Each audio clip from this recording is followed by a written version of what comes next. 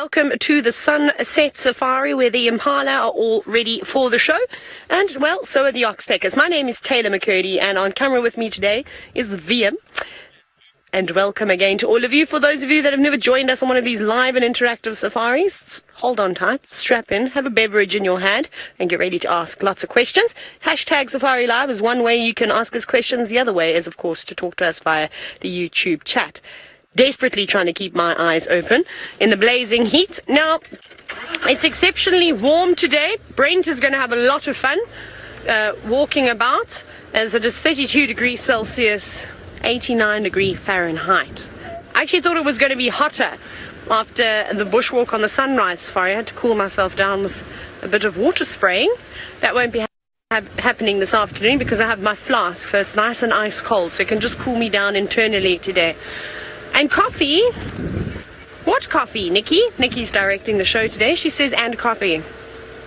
oh, that coffee. Okay, no, I wasn't going to tell everybody that story, but now that you've brought it up. So, I had a couple of things that happened to me this morning. Karma, possibly for squirting water onto Tristan. The first one was we ended the show and I drove home on the hood of the car and I sprawled out, arms back, laid back, feet up and it's on it's on Instagram if you'd like to watch it. And um, basically, what had happened, Tristan took a corner very nicely and slowly because we're being safe. We couldn't have been going more than 10 k's an hour, and then we slowed down even further, approaching a big hump in the road. And then guess who slid off the car? Me. So that happened, and I got myself falling off of a car. Then the other thing that happened to me was I made these two lovely cups of coffee for myself and Rebecca, and I came walking out of my room with them. Why I went into my room, I don't know. Came down the step, and then stood on my ankle funny, and well, just face planted basically off my step into the sand, but then threw the two cups of coffee into my face. And and I just laid there laughing because I thought it was hysterical. I didn't hurt myself because I landed on the beach, and um, yeah, and then just couldn't see though. I was blind because everyone was like, "Why is she not getting up?" And, and then I said, well, I can't see. The coffee really stings your eyes, especially when it's boiling hot coffee. And coffee, I don't think caffeine in your eyes doesn't do very well. So don't do that. Jamie, you've said that I'm such a klutz. Yeah, I can't help it though. I don't know why though. So I've had two things happen to me today. I'm waiting for the third thing. I have no idea what it be, but, be, but it might have to do something to do with the fact that I have slip slops on this afternoon to try and get rid of my horrendous sock tan. I won't be doing too much walking, of course. I'll be in the car, so it's not a problem. Be tanning my feet on the safari. So excited about that. And uh, I suspect it's, it's something's going to go wrong, anyways, because you shouldn't be wearing. Well, not my the ones I'm wearing on safari. It's casual Saturday. Anyway, let's go across to the second sassiest person in the team. That's Tristan. Second sassiest, Taylor McCurdy. That is absolute nonsense. I'm definitely not the second sassiest in this entire crew. For sure that you are the queen, but I think Rebecca probably comes in second behind you, I think. Anyway, it's a very warm welcome to a beautiful day in South Africa. And as Taylor mentioned, my name name is Tristan, and on camera today I've got David, which is always a wonderful thing. And so hopefully we're going to have a wonderful afternoon. David and I have said nothing less than 9 out of 10 for our drive today, so we're aiming high and hoping that we shall deliver with maybe a spotted cat. So that's where we're going to head off to. We're going to try and see if we can find Hukumuri, and so hopefully we'll have you all along for the ride and that you'll ask lots of questions and interact with us using hashtag Safari Live on Twitter or the YouTube chat.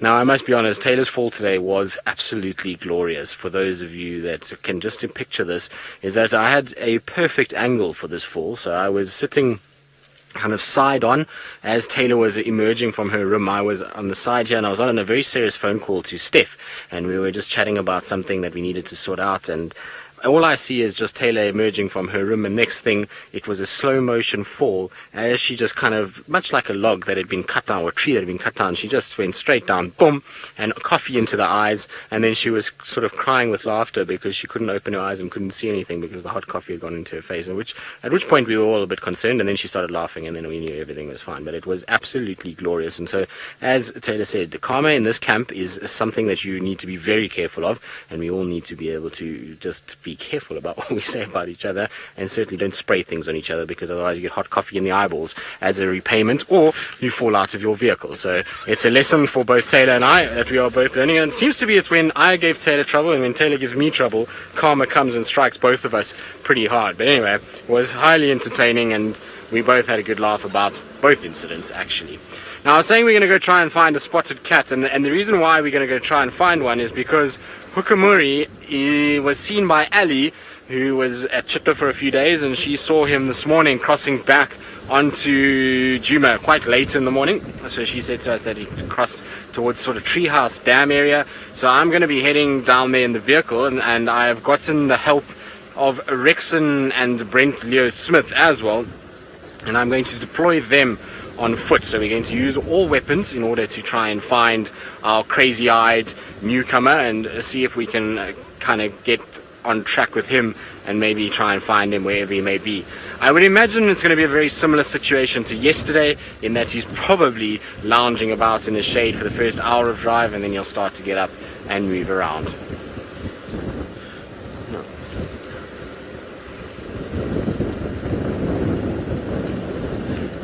So, Giraffe no sightings of Thandi and Talam. Uh,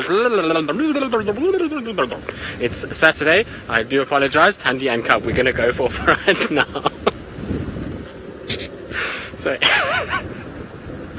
anyway, so Nikki's laughing at me in my ear, but so we no sightings of them since we had them not yesterday, the day before in the afternoon. And Thandi had a scrub hare kill. I don't know if you saw that, but Thandi had a scrub hare kill, and she took it back to Little One, and Little One played around and had a really good time, and it was a very cool sighting that we had. So, you know, so they are, are around, and then Hukumuri arrived that night, so I don't know if maybe she's gone back towards Torchwood.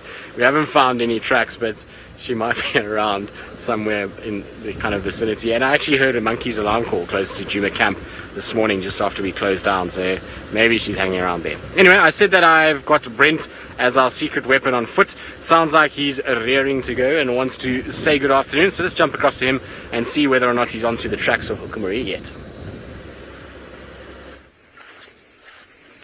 Well, hello, hello. We don't have tracks yet. We're just doing a cursory skirt of the area to make sure he hasn't wandered out before we hone in on the area to the south of Treehouse Dam. Good afternoon. My name is Brent Leo Smith. I have Craig on camera and Rex is out with us keeping us safe. So, we're hoping to find Hukumuri, male leopard. Um, he crossed right towards the end of drive into this block behind Craig there and uh, hopefully he'll be around. Maybe it's been quite hot today, so he probably hasn't moved too far.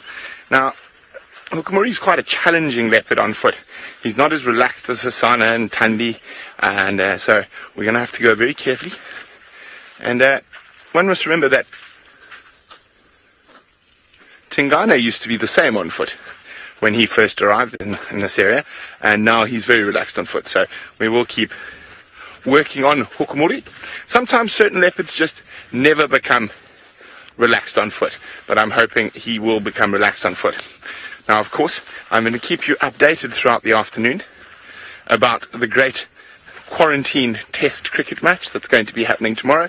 Uh, in the meantime, let's go to well, I don't know which team's going to get be unlucky enough to have Madam McCurdy because she might just fall over the cricket bat. Oh no, Brent, the pressure that you've just put on my shoulders now.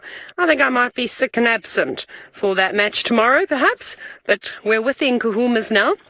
Courtesy of Tristan pointing us in the right direction. I do. Let me just jump on this game radio because I better call myself in very, very swiftly as we watch these two lioness pant. She's going to drink. Okay, we'll go there. Uh, stations relocated on the Nkuhuma Pride. Uh, they're still all around Chelepan. Wanna knock? I'll be going radio down, but you're welcome to come join. Radio off. There's another lioness. What's happened to your eye? Is this the one with the sore eye? And uh, I don't have. Yes. You a youngster though. What's happened to you? Hey, Oh, I don't even have my binoculars. I'm just trying to quickly stare and see what's happened to this this youngster. I don't know when that injury occurred. I haven't really seen the Nkuhumas. I mean, I've sat with them. We had them one afternoon. Ah, apparently both of these two have injured eyes. I wasn't here when the Nkuhuma, one of the lionesses, got an injured eye, and I don't know if she can see from it anymore. And this one, it's not great. Sit still, will you, please? The first time you hear me asking a lion to sit still. Okay, no, well, I'm probably not going to get a decent view. Uh, that doesn't look nice, hey? I wonder what's happened to her. It got scratched, injured, and taking down some prey, maybe just running through a thicket and not being careful and got poked in the eye by a stick. Or just a simple infection. I don't see any obvious cuts around the eye. Well, we'll try and figure out what happened to that one. Oh, they're all coming out. All of them. Now, one has gone to drink, but I think we might be a bit late to catch it drinking. So let's hope this other lioness sort of uh, heads on over. And they've been very kind this afternoon, just uh, very quietly coming out one at a time. Just one at a time, which is very nice. They've been sleeping away in a tamboti thicket for most of the day, keeping out of the sun. I don't blame them. Now, something that we don't know, unfortunately, is what these lions ate this morning. And uh, so there we go, Francis from Israel. I'm, I'm, I'm so sorry. Uh, we haven't got a clue. Tristan was the one who found them, and he said when he got here, they had swollen bellies and they were still covered in blood. So I haven't got a clue what they ate, neither does Tristan. Um, this lioness is, they've, they've all got, you know, biggish bellies. She doesn't have as big as the others. But there are a lot of lions in here. So, you know, it is, um, here we go, there's two more. Is that old Amber Eyes coming out there? Yes. Hello, girl. It um, it's difficult to say. I mean, even a buffalo, a small buffalo, would have done them good. What are they looking at? I think they're looking at that maybe the other lion that's already gone to drink one of the youngsters. One, two, three. All big girls are here. Uh, there, is that the one with the injured eye? Oh no, maybe it was just seeing things. Hard to tell. Come on, come on around. It'll be nice to actually get a chance to have a look at these lionesses in the, the day when they're not squabbling over a carcass. Now, Joanna, I'm not sure if those were injuries from the Avocas. Like I said, I haven't seen the Nkuhuma Pride for a very long time. I think we're going to reverse, though, VM, once this lioness goes. She's now just also decided she wants to go with the rest. We'll go watch them drink water. I suspect that's where they're going. I, I don't know what's happened to the sub-adult either. Uh, the last time I saw them, they were sort of face deep in a... Oh no. We're trapped. Well, basically, so I'm just trying to make sure we don't drive over any thickets. Gonna have to wait for her. She's using luxury facilities at the moment. This might take a while. Do you want a newspaper, girl? Um, sorry, that's also the antenna in the way there. Um, basically, I haven't seen them, and the last time I did see them properly was, uh, like I said, they were eating a buffalo carcass. It was very hard to tell what had gone on. Shame, little one. That doesn't look too nice. So I'm going to have a proper look around and, and get all these cats having a drink of water. So I'm going to reposition very quickly. And while we do that, I'm going to send you uh, to Tristan. So, well, see if he's any closer to finding Hukumuri. Well, we're right where Taylor had Hukumuri this morning on foot. And so I'm just double checking these little mud wallows and the areas around these mud wallows, just in case he's not lying in the shade somewhere. Because sometimes you'll find a situation where these leopards get into a, a place where there's a bit of water and then they just lie down roughly in those areas and sort of spend a bit of time in the shade. We saw yesterday uh, with Brent, he walked towards the sort of pans of Ingwe Alley and then he just lay down in the shade for the hot part of the day. So it's always good just to go slowly in these areas, double check under the shady sections, make sure that he's not having a bit of a rest somewhere here.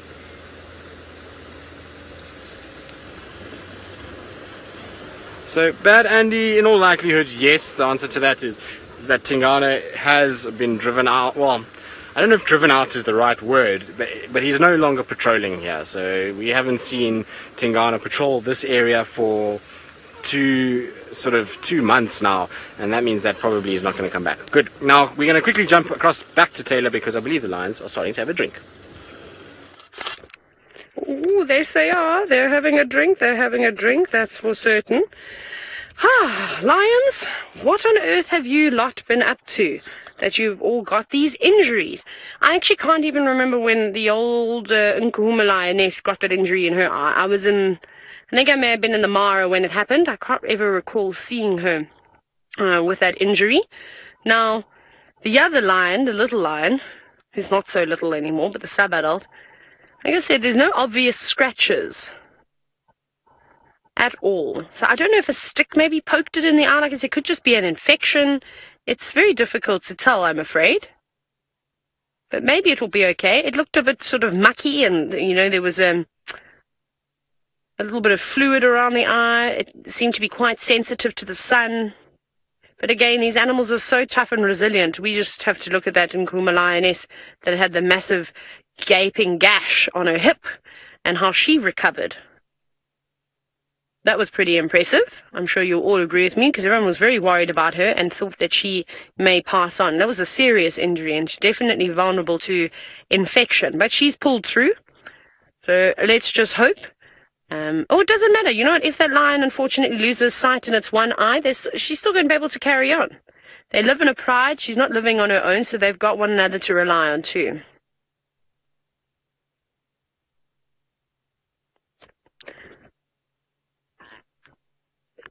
Now, just going back to what we were just speaking about, Magic Megan Dragon. Um, oh no, VM. Can you hear that? Oh no. Hang on.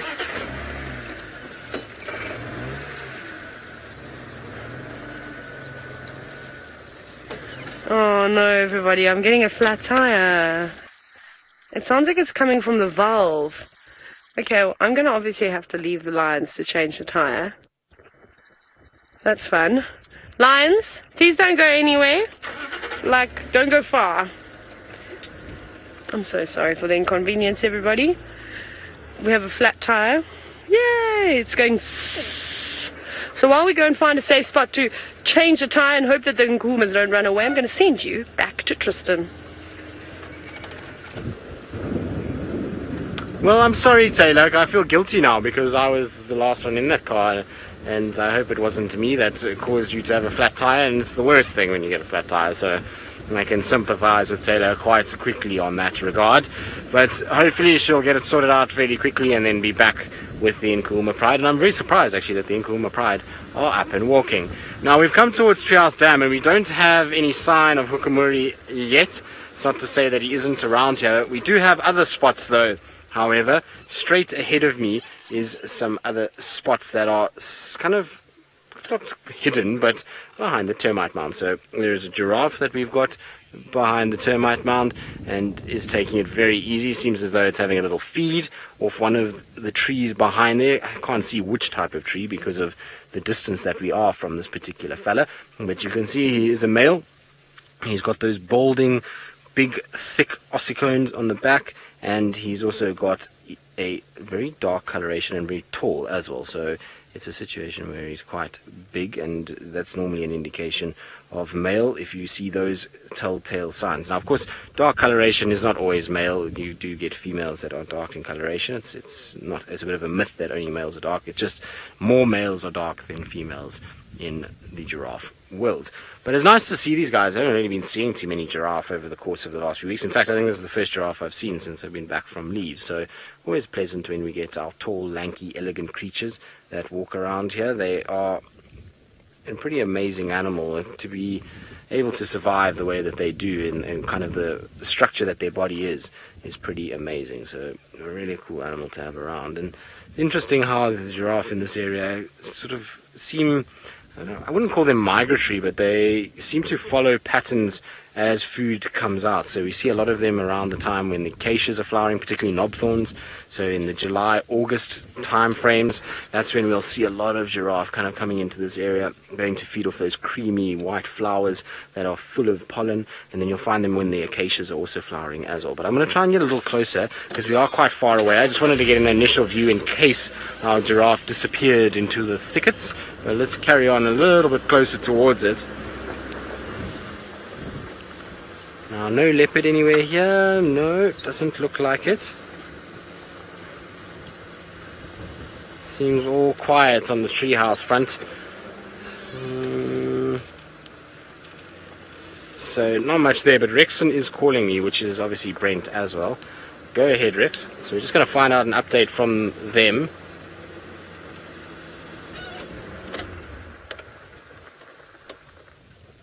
Okay. Copy that. Thanks, Rex. I'll head in that direction. So we're going to leave our giraffe very quickly because Rexon says that he's got kudu alarm calling somewhere around Twin Dams, Mulawati area. Now that's not too far away, so we're going to do a little Ferrari safari to try and get there as quick as possible.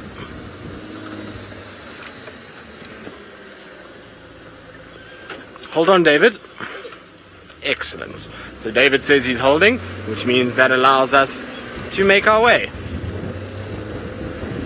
So we're going to try and get sort of towards Twin Dams as quick as we can. Maybe little Hosana is lurking or somebody's around. While we do that, let's send you across to the man that heard the alarm calls in the form of Brent.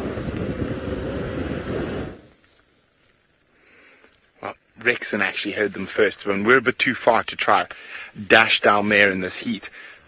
We can hear, I can hear Tristan. Boop, boop, boop. Better not break my car.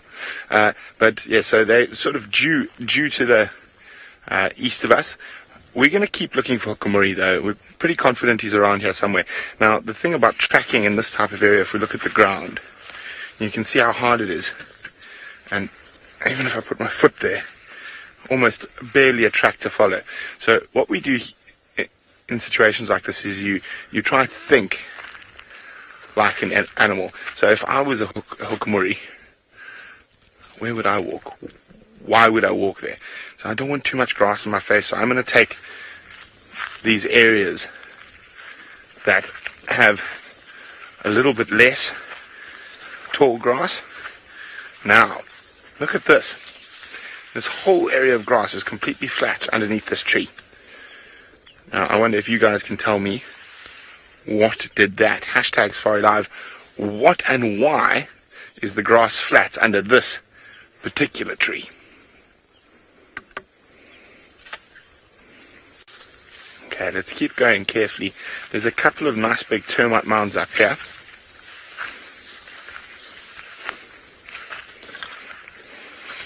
No, Nicola in final control is guessing. She's got the species right, but not the reason.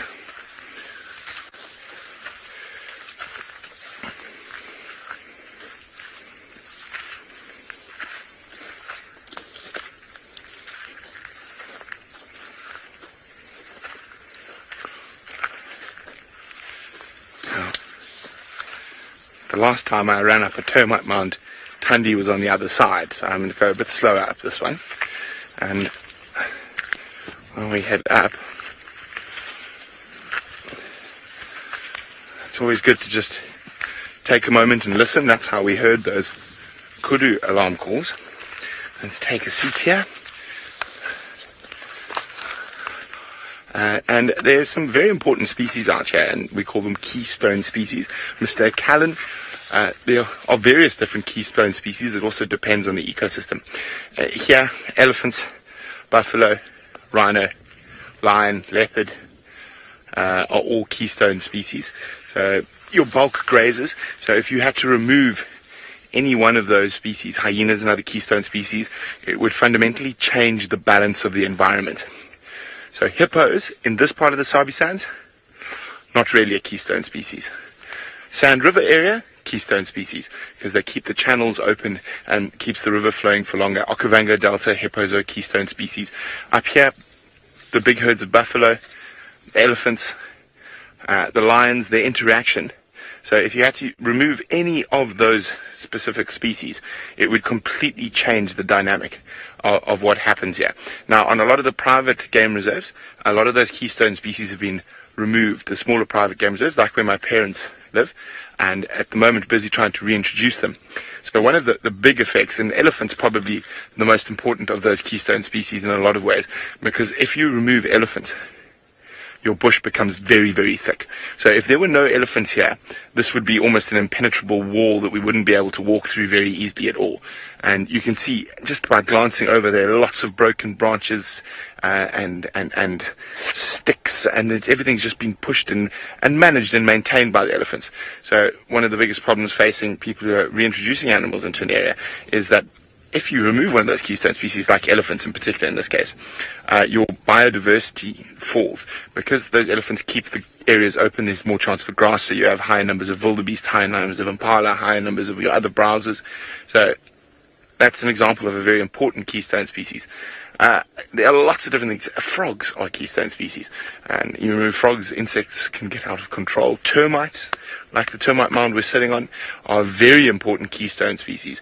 Uh, they are one of the most important in providing huge amounts of nutrients and uh, uh, into the into the ground as well as food for a whole plethora of different animals who would have to completely change their habits if termites disappeared. Bees is another good example of a keystone species. So it doesn't have to be something big and and prominent like an elephant or a lion. It can be something as tiny as a millimeter. Ah, it sounds like we have some answers for our little quiz from earlier.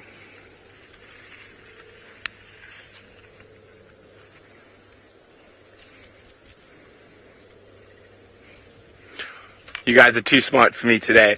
Uh, P. Hart, Kathy, and many, many others, you are spot on. We were under a marula tree that was fruiting a month or so ago, and that flattened grass is from when the elephants were there after the marulas. Okay, I haven't heard any more alarm calls. We're just listening to see if we could help Tristan. I think it could be Hosana coming back from Little Gowrie. Okay, let's keep moving. Let's see if Hukumuri's maybe headed straight towards Treehouse Dam for a drink in this hot weather.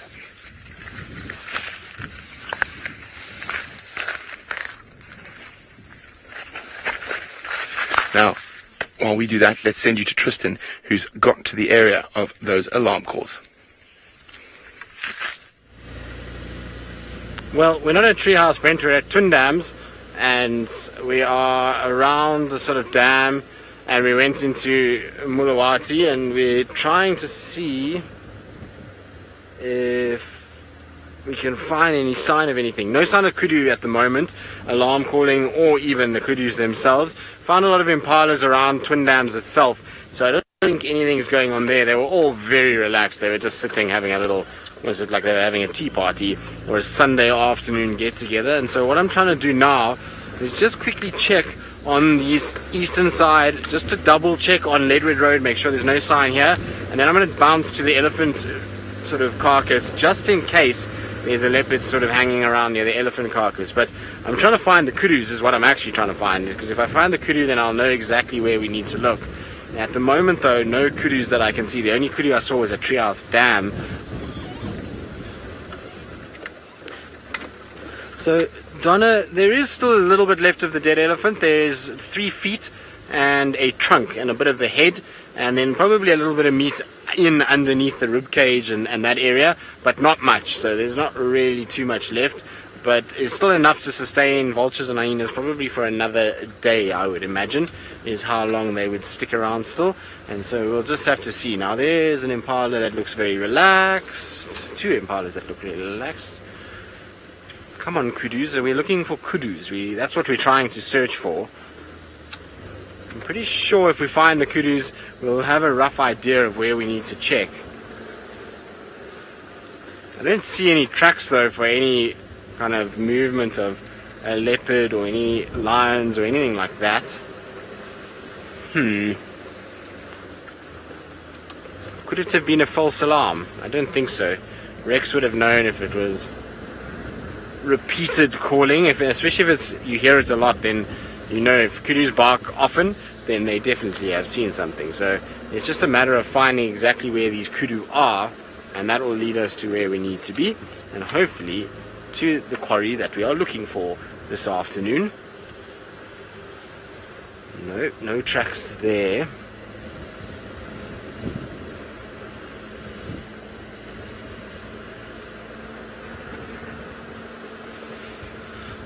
So, Child of the Universe, difficult to say. Um, I wouldn't push as far as to say he's not, or Tingana is not um, territorial anymore. I, I would just say that he's in a situation where his territory has shrunk massively, and he still marks and he still uh, is scraping his back feet and urinating, and I, as far as I understand it, still vocalizing around the sort of Chitwa area, but he's not nearly kind of as active about patrolling and scent marking as he was this time last year. So it's a bit of a different situation that we've got, and you know we'll just see how it goes. It's going to be interesting to kind of work out how this is going to play out and whether or not he is actually just kind of given up on being a territorial male and is just going to be like Mvula and take it easy for a few months and years and then just be a bit more nomadic than what those two boys are. So we'll just have to see. It's going to be, like I say, an interesting time. Now I believe Taylor has sorted out her flat tire, so let's send you back across to her so she can tell you the tale of how she fixed her tire near the lions. Well, I think that's the third thing now that's gone wrong to me today is a flat tire. Also, don't change flat tires in slip slops. It's not clever. You could lose a toe quite easily. But we managed. We survived. We're just very dirty now. And guess it wasn't even a thorn. It was just a valve that went. Oh well. We've changed it. Lions have had a drink. We're about to have a drink and quench our thirst. We're pretty filthy though now as you normally are after a tire changing event, huh, Lions? Did you enjoy watching us? We didn't actually park very far away from these cats.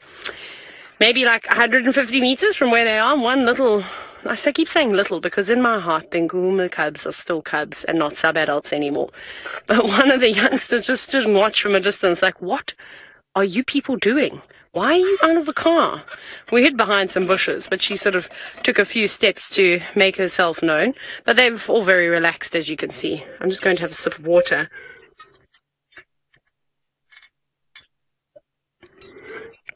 Ha! Whew. That's delicious. Now, our dear friend Michael Fleetwood has been very kind and started putting together some great ID cards for the Nkuhumas. So thank you again for that, Michael. Um, and Kim, one of those ID cards of, of course, uh, is of course of floppy ear. My favorite little lion cub who does not have a floppy ear anymore. And I haven't seen all of the lions now. I mean, I was hoping to see them when they were drinking water and have a proper look at them. But now I don't know how to tell her apart.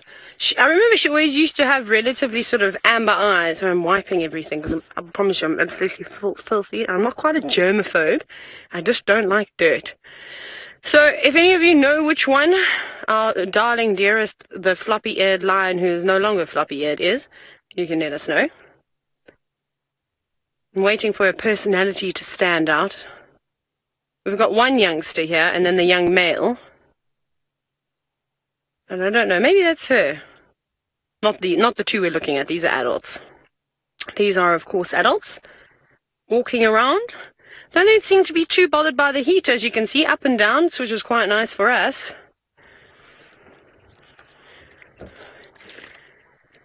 Just enjoying the shade, panting heavily. Obviously, they've had a decent breakfast. I reckon they'll go out hunting tonight, though. Or maybe tomorrow morning, looking for their next meal. Maybe this afternoon if we're really, really, really lucky of course, but we'll um, have to wait and see.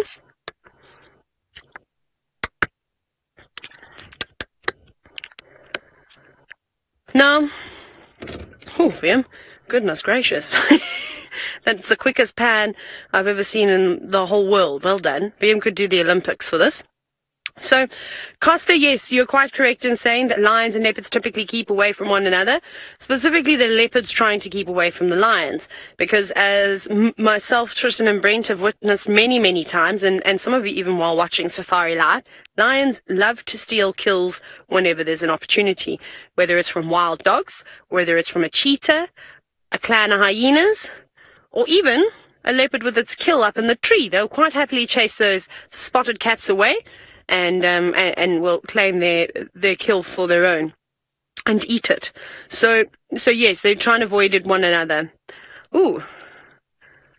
This sounds very exciting and very promising. It seems as though Brent has not quite found Hukumuri just yet. There's kudus alarming, and now it seems as though he's got some tracks. So as I was saying, we need to think like a leopard. We haven't seen a track for 300 meters through the thick grass. And that's all you need. You need just one little sign. And you can see how difficult on this hard ground it is to see the track. And there we go. That's the back. There's my little stick here. So here's the back pad. There. And then the toes. Up there. And he stood on a piece of a dung beetle by the looks of things. Yes piece of a beetle that he stood on. Now, while we were looking at this track, I noticed something we don't see very often at all, and that is steenbok dung, because they bury it. But another animal has come through here and kicked it up a little bit. So if I dig a little bit, this is a baby steenbok, a very small steenbok, not an adult, but there's steenbok dung buried here. So look at that. So we, we hardly ever see steenbok dung because it is buried. And there we go. So it's not an adult, it looks like a youngster from the size. Okay, well, he's making a beeline for Treehouse Dam. So uh, we didn't have any tracks of him coming out there, so we're going to keep going. He might still between be, be between us and the dam. So as I said, you've just got to think like a leopard. And leopards don't like grass seeds in their eyes and things like that. And uh, so you try sort of imagine being at a leopard's height and then moving through the area that has the least grass will give him the best possible visibility.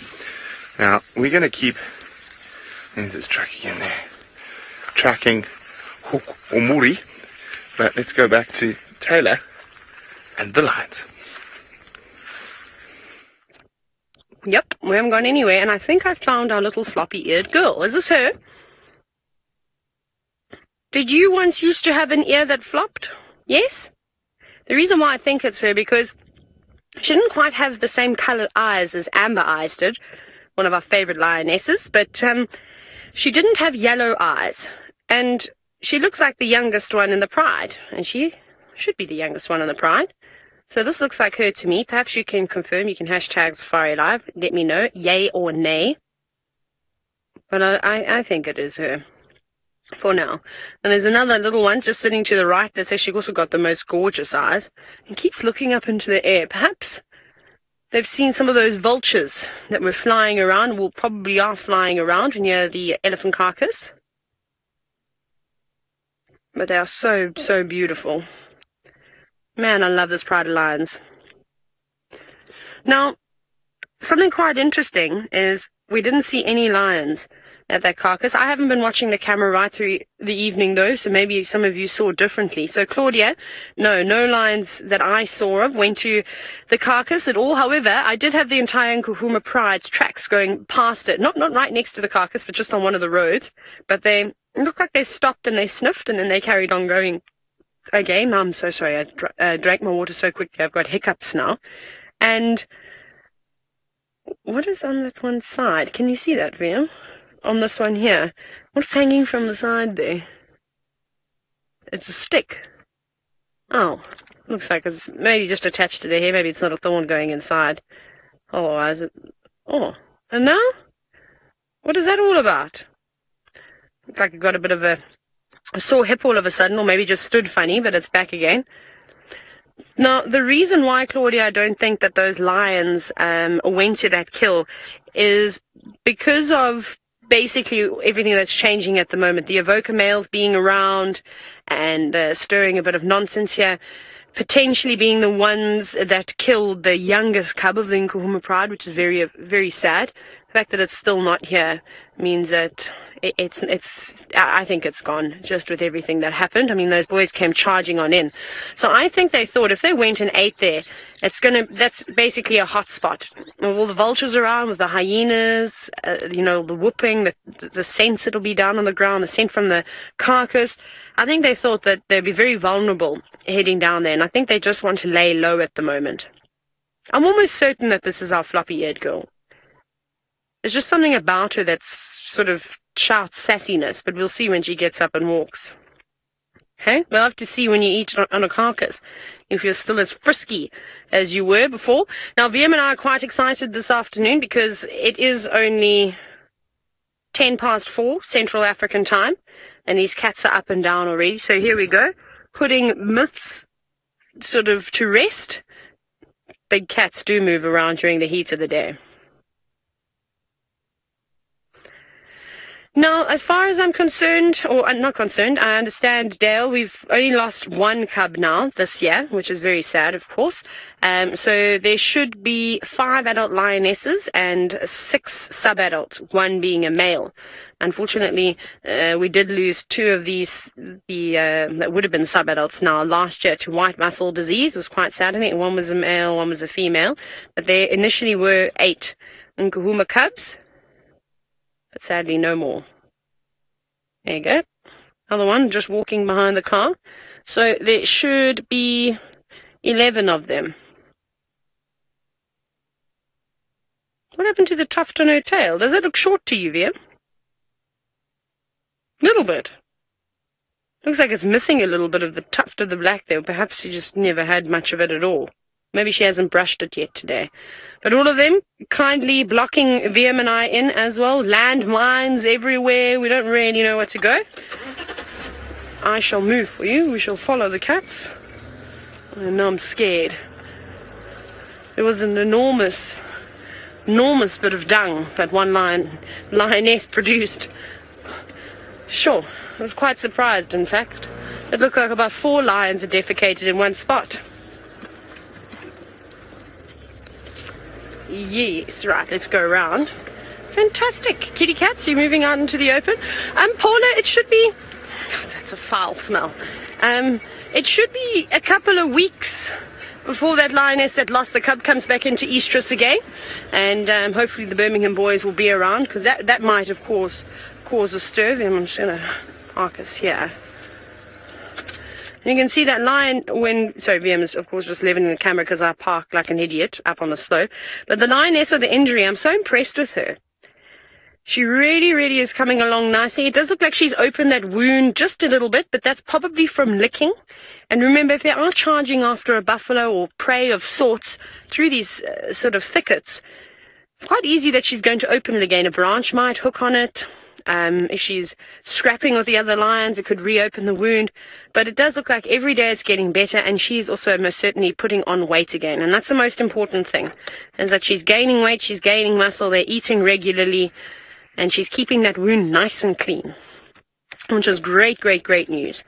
And it's obviously just a bit difficult for that one that's got the eye injury because she's unable to lick it clean.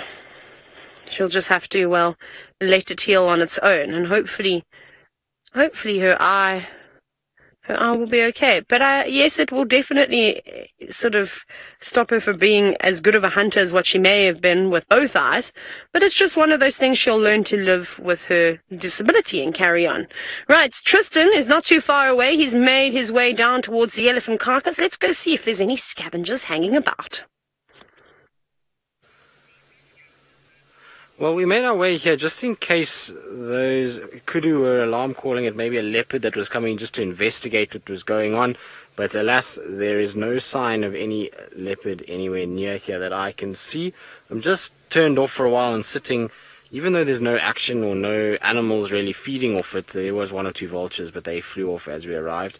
And you can see there's not that much left. There's a few kind of bits of feet that are sticking around, and you can actually see pretty amazing in the middle of that carcass is a kind of the pad of the one foot. So there, you can see how the pad has almost been kind of peeled away. Now I know it's pretty graphic, so if you don't like graphic things, then uh, it's not probably not for you. But not that one there, Dave. If you can go to the left for me and towards the rib cage, and then straight there, down a little bit, and that there. So there you can see the toenails of the foot, and that's the actual pad. There's the hardened, leathery type pad that has been kind of peeled off from the actual fatty part of the foot so that they can get into that because that is going to be incredibly difficult to eat. That's almost like a rock as opposed to the fatty pad underneath. And so what they've done is they've peeled away the toenails and the foot and to get in to the actual good parts of the feet itself, which is pretty crazy. And if you look to the left, I might need to go forward, Dave. Let me go forward a little bit because it's actually quite amazing. If you have a look there, so now that I've gone forward a bit, in there you can see what I was talking about. They've eaten that fatty pad away completely. So that's where that pad is that basically cushions the elephant's foot and allows it to be able to walk, and so they've gotten in there, and that's probably pretty tasty. And so they've eaten all of that cushioning away, and that's why they would have peeled off those toenails and that bottom part of the foot to be able to expose that. And so, really, not too much left here. There's just a little bit, like I say, in the form of the legs and then around the head, and obviously the trunk has done the distance too, which is very surprising. Normally, the trunk is something that gets eaten fairly quickly and, and kind of gets absorbed, but it's amazing the kind of damage that was done to this poor elephant's body when he fell the fact that there's there's ribs that are broken, there's hip joints that are broken, the jaw is broken, all from the force of him falling on his side when he died, which is absolutely amazing to me.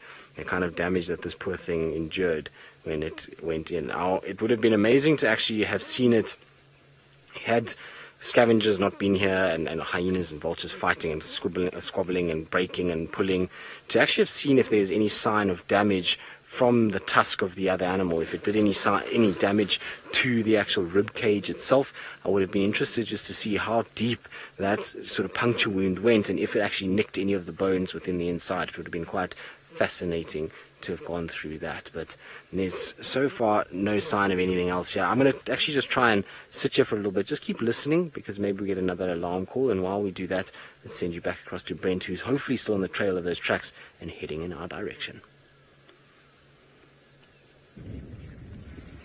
Tristan's just waiting to try one up me with an Egyptian vulture, I'm sure. Uh, we've made it to Treehouse Dam, and you can see the blue green algae.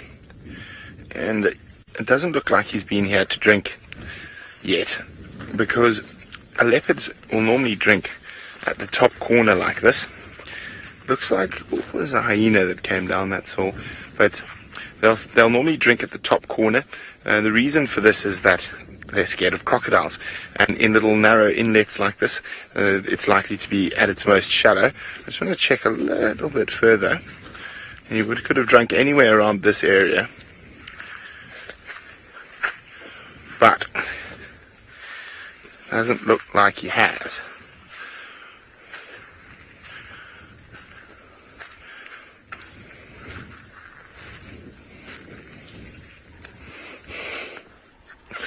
Hi, Willow. Yes, Willow. The Easter Bunny does come here. Our Easter Bunny even has a name. Our Easter Bunny's name is Geraldine. She, she comes with lots of eggs. Uh, so we will, yes, definitely have Easter eggs tomorrow. For breakfast, even. Willow, I hope you get lots of Easter eggs as well. Okay, no sign of the leopard here.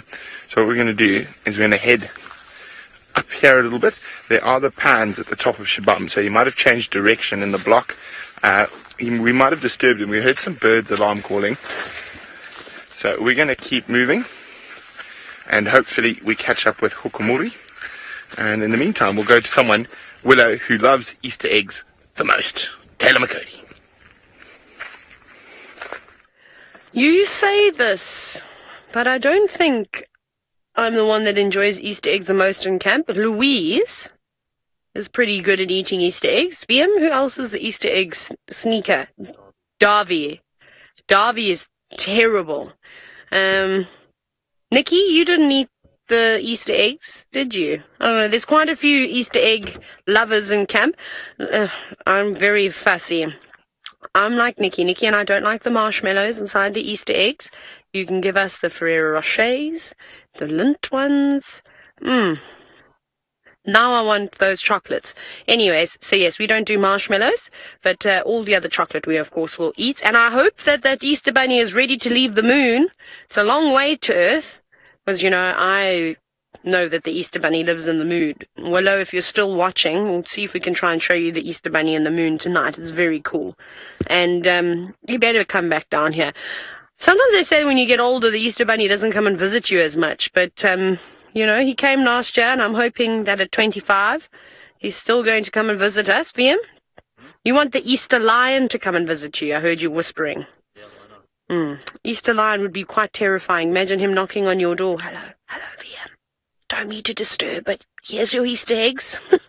That'd be terrifying. Yes. So, um, say again? As long as it's he wants a white lion Easter bunny. Fair enough. That is true. There we go. You've heard it, hey, from the one and only VM. He'll be here all night. Anyways, now we've got a carpet of lions, which is my uh, my favorite. Oh, goodness, this is gonna be a long day. Which is my favorite collective noun for a group of lions. And like I said, there's no real wrong collective noun for a group of cats or any animal, in fact. So get creative. Let's see if anybody's got any anything different. I like a carpet of lions. That's my favorite. VM, what's your favorite collective noun to use to describe a group of cats? You we'll ask VM just now. Ooh. Now, chat noir I don't know what the lions would do if they have a runt in, in sort of in the litter. I suppose it's it's really just got to fight um, for its right and the pride. I don't think the lionesses would ever. I suppose if they didn't want it, some lionesses end up abandoning their cubs. That definitely happens. Um, but it's. But I mean, I've actually never witnessed. I've never witnessed lions going, "We don't want this cub anymore," type thing. Um, so if there's a, a little one well, they're going to have to just try their absolute best uh, to keep up with the rest of them and make sure that it can fight for an opportunity to suckle. That's going to be its biggest thing. It's just not getting enough milk. So if it can make it past that and all the bullying that it will receive from everyone else, then it'll grow up to be fine. It'll just um, it'll just have very strong character, I suppose. No, kitty cats, I can see you want to get up. Now, if we try and find some lion that's sitting not in the grass, which seems to be impossible now, um, Chat Noir, was it Chat Noir, or did I already answer that question? Gordo, I already did that one, sorry, Gordo. Uh, so Gordo, what we're trying to show you is, there we go, now this youngster is going to stand up, we can quickly have a look at uh, the sort of spots that the lion has. So they, they're not quite rosettes, they're more sort of spots, and it's very typical for young lions to have it. When they're small, they're completely covered in them, and it's to help with camouflage. However, as they get older, some of them uh, don't lose their spots at all. Those spots don't necessarily fade. Um, other lionesses lose them completely, or it's the same thing with male lions too. Uh, so it's really just there for camouflage when they're when they are younger. And that's all. I, I do want to just tell everybody that I'm still on luck with these lions. Let's see how much chatter there is. Otherwise, they don't get any update. Guess who's chatting on the radio? Chitter chatterer Tristan.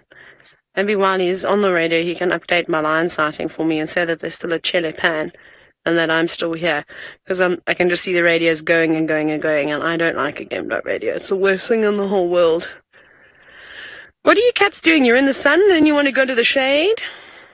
And then you're in the sun. Now they're all moving back to the shade again. This is so funny. It's like they're fidgety. I mean, I don't think they look too uncomfortable. Sometimes the lion's bellies are touching the ground, which um, I, I can imagine can't be very nice. I mean, I bet all of you have at some point in your life overindulged to the point that you've uh, got severe stomach cramps. These cats don't look like they would have stomach cramps at the moment. Um, normally, after they've feasted on a buffalo for two days, you might be able to see that. And also, you, you sort of can see the lines, and this is a bit gross, but it's just one of those things. I don't think it's gross because it's normal. Um, their, their stool was quite hard, in fact. And sometimes when they've got those big bursting bellies, they tend to have a very sort of upset stomach and can tend to have diarrhea. But n- not from what I could see, so that's why I, I don't think they, they did overindulge in anything. I think they just had the right amount. Very cool, though to see these cats. Oh, there we go. What do we have answers for? What was the question? Oh, yes, the collective noun. I was like, what? Did, what happened?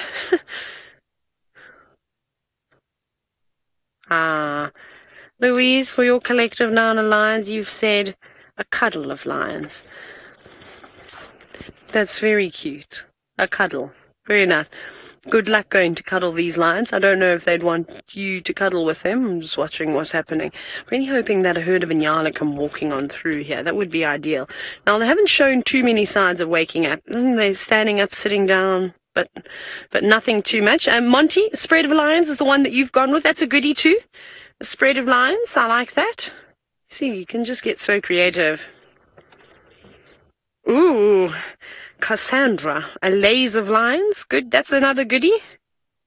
That is very nice. I mean, you can you can go all out here. Ooh, there we go.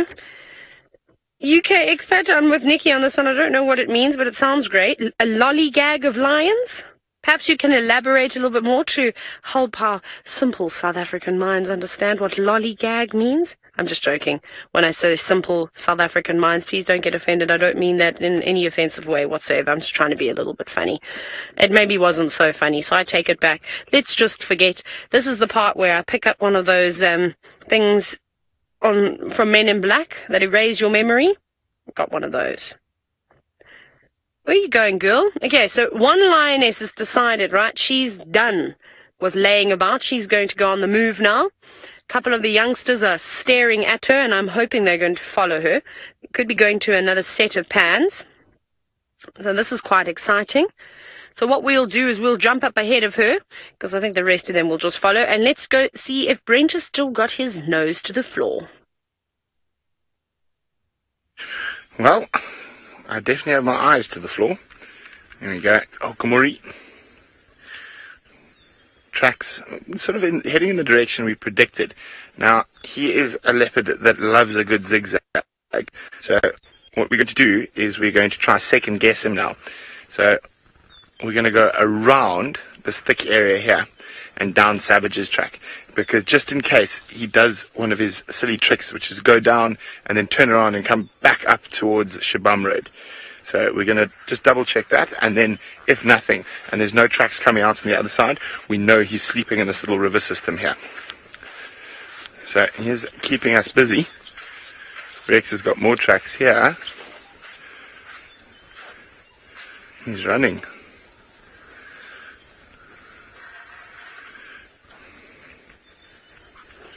What your tracks? On top. Your tracks are on top. So this is him from this morning. There we go. Is that whose track is that? Yours, Rex? Or Taylor's track? Taylor's got that bigger feet. No, can't be. Taylor's got such big feet. Who would have thought? Yeah, so these are the tracks from when um, you had him this morning, it looks like. Uh, can't believe Taylor's got such big feet. Maybe that's why she keeps falling over all the time. They just get stuck on everything. it's going to be interesting to see her on the cricket field tomorrow.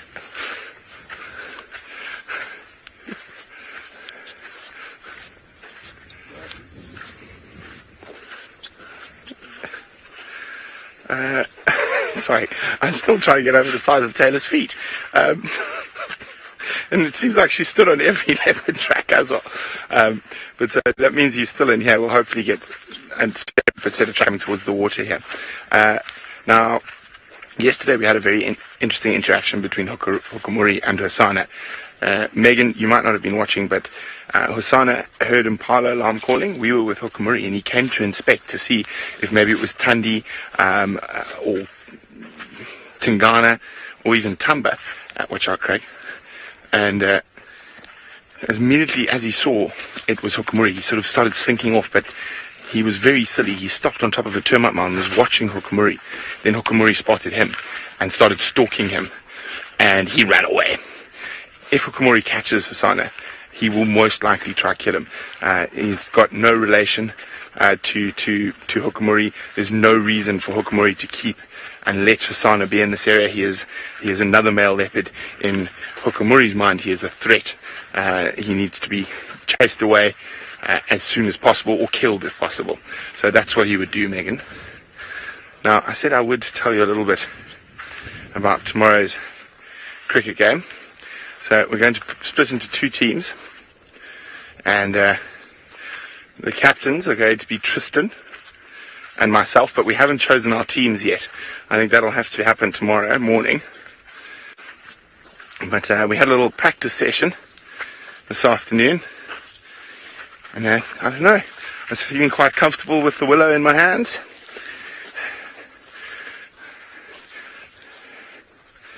And um, of course, who knows? Maybe Taylor McCurdy's the dark horse. I mean, she does come from serious cricketing stock. Her dad was a fast bowler for Australia. Uh, so we'll have to see. There could be some surprise cricketers amongst our our, our crew who we've uh, written off that might have the X factor. Now, uh, sorry, I didn't catch the name. Who was asking about my walking stick? Paula. Um, my stick doesn't actually. Well, I suppose it's developed a story. It didn't have a story. So um, I found it on Bushwalk one morning uh, on Zoe's Road. It's a large fruited bush willow, Combretum zeyheri, that has been broken off by elephants. Now, since I got a stick on Bushwalk, I thought it, I thought it was prudent that uh, James Henry should also have a stick. So I got him a little mini stick that he could carry because he can't carry a big stick. It's too heavy for him and he's too small. So it became a, a bit of a standing, an ongoing joke between James and I about our sticks. So I gave, and he lost the stick I gave him. How rude is that? Uh, so he had to find a replacement one. But since then, I suppose I've carried this stick on almost every single bushwalk I've done. Um, it's been on TV uh, in America, and uh, yeah, even when I went to Kenya, I didn't take it with me. I left it in the tech room, so when I got back, I would still have my stick. It is also very useful for bopping, cam- bopping cameramen who misbehave on their head. Um, also, well, I used it today to poke Taylor when she was being cheeky and keep her at distance. She's quite feisty, so it's good for keeping Taylor and her big feet at bay. Uh, but uh, oh, it's I don't know. It's just got a nice weight to it. But let's go see what Tristan's up to.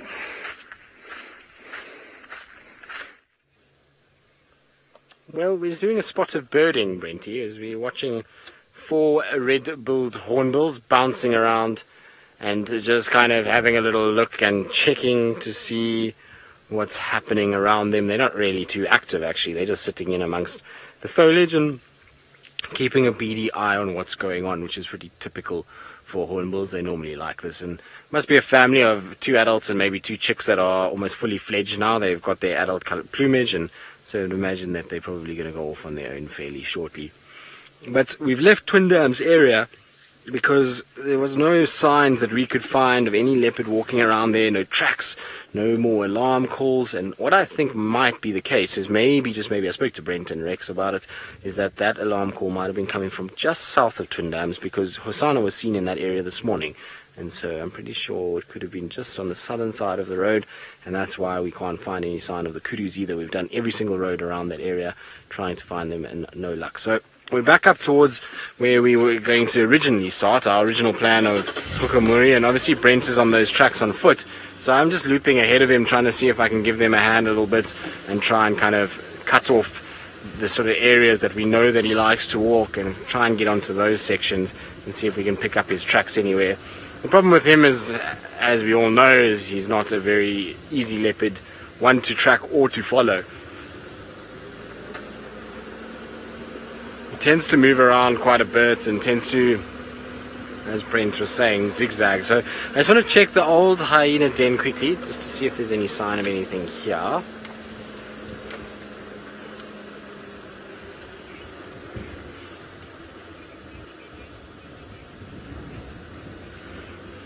So, Alan, our, our cricket match that we are going to be having tomorrow will be between the sunrise and sunset safari tomorrow. So, it shall be in the sort of midday. Unfortunately, it will not be televised cricket game because, well, we are we are scared to show Brent on TV and to see his skills on, on cricket might or might be illegal and so you know we don't want to to shock the world with his skill and his determination and exactly. And then we've got also an Aussie cricketer amongst us too. So it's all kind of something we want to stay away from. So we won't be televising this match.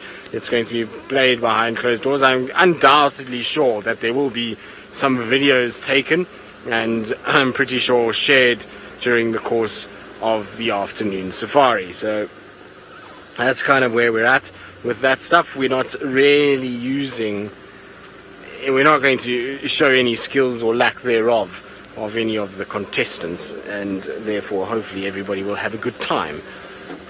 But I'm interested uh, to see how Brent Leo Smith goes. You know, there's lots of talk that has come from Brent Leo Smith in the last 12 hours as to his uh, cricketing prowess and how he's going to be, you know, winning as the one captain of the one team. And, well, will remains to be seen. Now, if he gets a duck, or is, gets zero, in other words, that's what a duck means, he's going to be uh, not going to hear the end of it anytime soon. And I'm pretty sure if Taylor gets him out, that's going to be even better for me. So we're going to hope that Taylor is able to get Brent Leo Smith out. That's what I'm hoping for anyway. And maybe we'll then have a good laugh about it in the afternoon.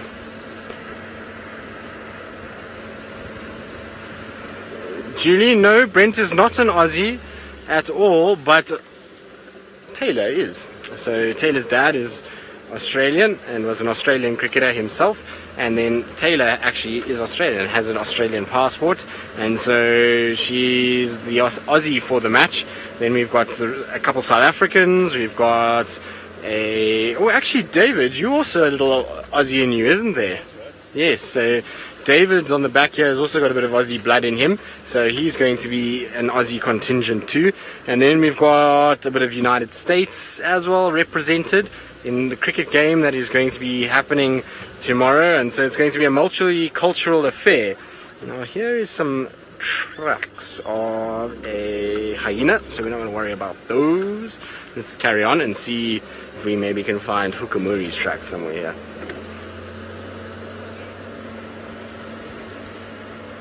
Oh, Sindara, you are in the same boat that I'm in. And you're saying where is Tumba you're having withdrawal symptoms?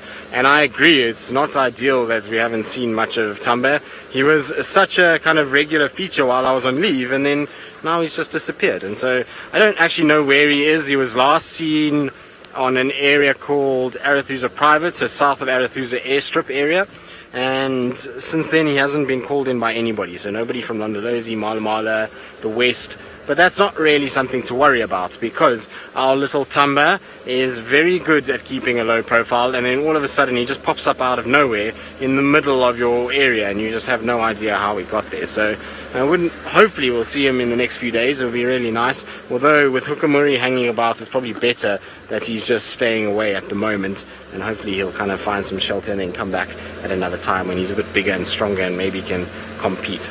Anyway, we'll carry on. We're going to try to see if Hukumuri's walked in, in any of the areas he did yesterday. While we do that, let's send you back across to Taylor and hear what her opinion is of Brent's cricketing skills.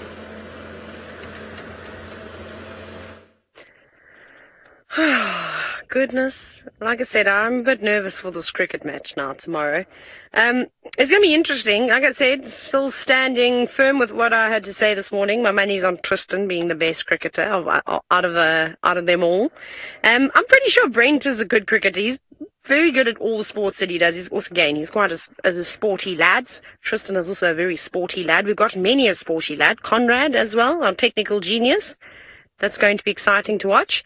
Oh, unfortunately, Darby's going on leave, so he won't be able to partake, but I'd imagine that he can uh, bowl a ball. Um, I'm trying to think who else? Who else in camp plays cricket? I can't think.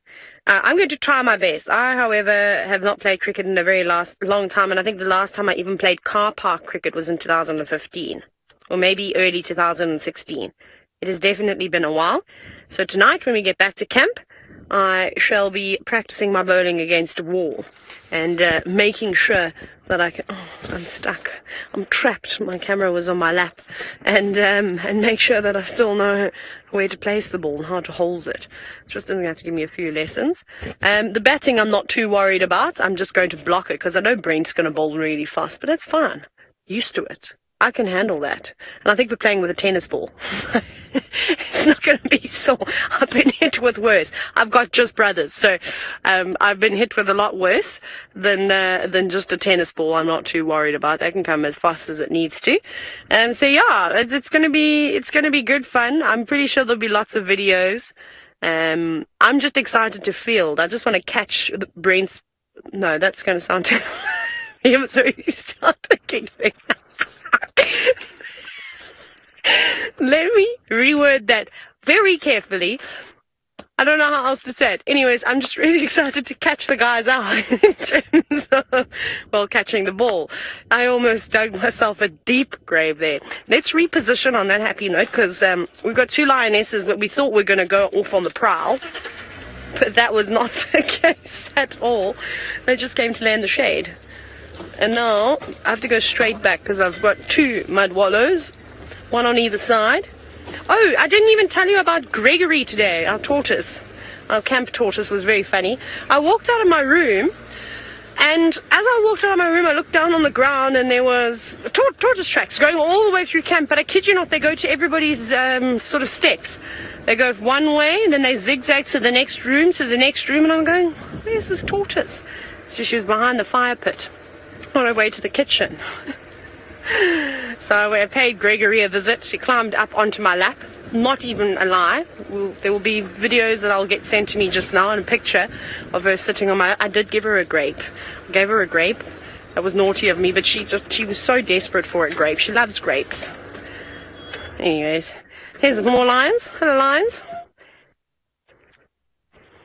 I've now lost Floppy Ear, who I suspected was Floppy Ear.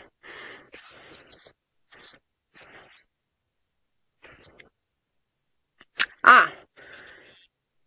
Now, it's a pity we can't see the young Nkuhuma male. I don't know where he is. He could be just laying flat. Maybe that's him there, but it's on. Uh, I don't know. Um, so Safari Cell, it is quite. Uh, it's, oh, is that him? No, is a lioness on the far left. Sorry, I'm just trying to find him.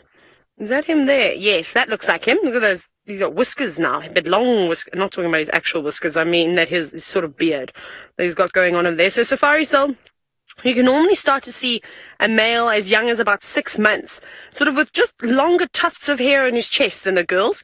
But um, obviously it becomes more and more prominent by about a year. You can, again, you can start to see it. Um, but it's going to take a long time. I mean, they've got very, very scruffy mange. You can just see a little mohawk starting on uh, the sort of between his ears. It's a little baby mohawk. See that darker coloration of hair coming through. Uh, when he gets to about uh, three years old, he'll have a decent mohawkish mane, if you will and it's going to take well up to about six, seven years old before he develops his mane completely. So he's going to look very scrappy until he gets to about five and a half, six years old, and then he'll start looking like a, a proper male lion. You can see it fa- from fairly young. Just very subtle, though, of course. They just look hairier than the girls. Now, he's not going to be in this pride for very long. I'm wondering how long the Birminghams are going to tolerate him for, because remember, this is the the first time I think that they've actually sort of had a, a pride of their own, if you will. They were very young new males coming into this area. So they might let him stay here for a little bit longer, especially as they're spending more and more time away sort of from home, from the Nkuhumas, from the Torchwood Pride, from the Styx Pride.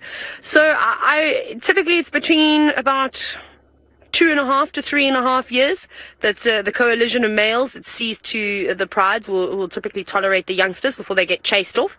But again, that that just depends on a number of different things, and uh, we'll just have to wait and see. I'm trying to think. They're they're just they're almost two now, aren't they? Some of them almost two. So he's still got a little while, of course. Very nice. Hmm. Now, when he disperses, we're not sure where he's going to go. Life obviously is very tough for young males. I mean, it's very tough for them when they start out as cubs. We know that uh, the cats, unfortunately, don't have a very good sort of survival statistic until they reach adulthood. And he's going to have to move off and live in between other lions. So, super bikes, I think that was the the name there. Apologies if uh, that wasn't it. Ah, that was correct. Wonderful. Um, he is. He's probably going to get a name. When or what it's going to be, I have absolutely no idea. That'll, of course, be a, a, discussion on its own at some other point. But I don't think we'll name him yet. They'll probably name him just before he disperses. Remember, we've got new lions coming into the area, so he also needs to watch out. He needs to be a little bit careful. But very sleepy cats. Via and I were saying just before, we got a bit too excited in thinking that these cats were going to get up and on the go. Instead, they've now flopped back down after a drink of water, where I reckon they'll probably sleep for a little while longer. Now, here's something I'm not very good at, and it's identifying different lionesses. And um, I know, of course, amber eyes is an easy one to identify. So thank you very much, Nikki, for giving me that answer. Apparently, the oldest uh, lioness in the pride is indeed the one with the injury on her hip. So there we go, soccer dash.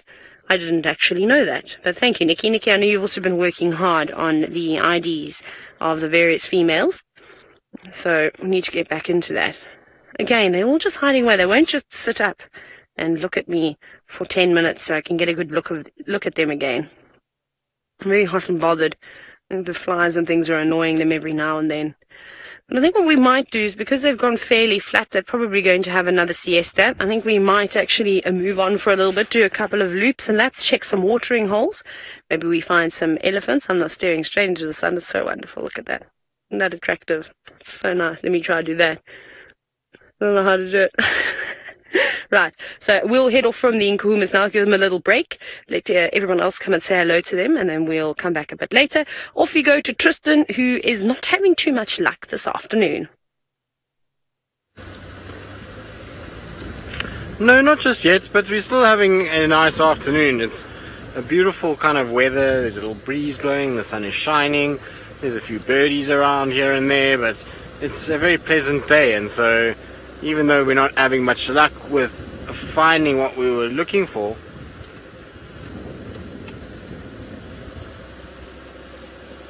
now I'm just listening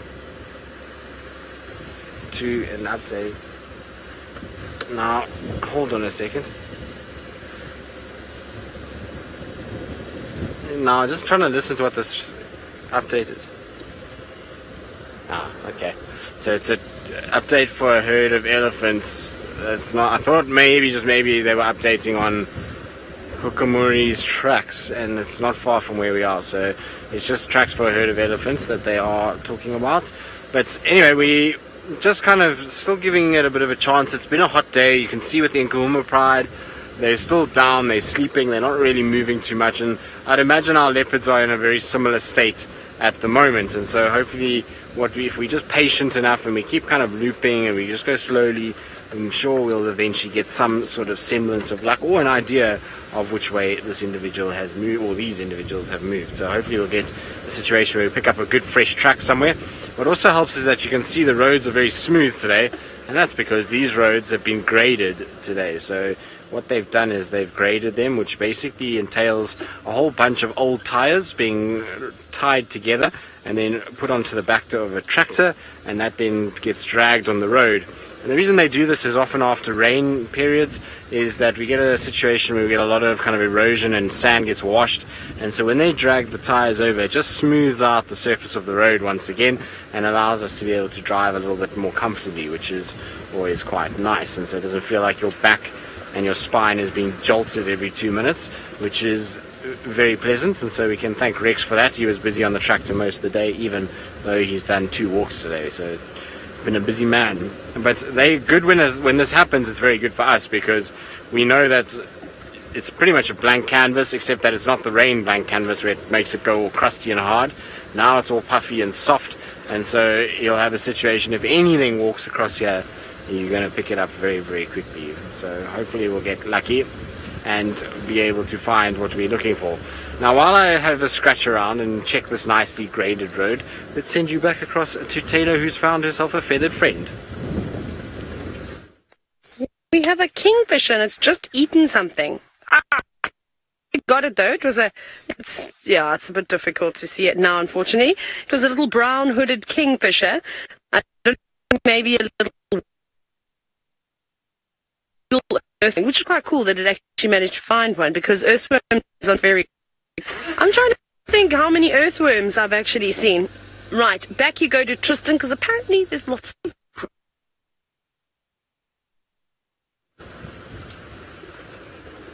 Now, Taylor's unfortunately in a place where there's a few little gremlins that are around, and so She was trying to get across to me, but I think the gremlins took over before. But nice to have a little kingfisher around. I, would, I don't know which kingfisher it was, but you know these days we're getting fewer and fewer of our woodland kingfisher.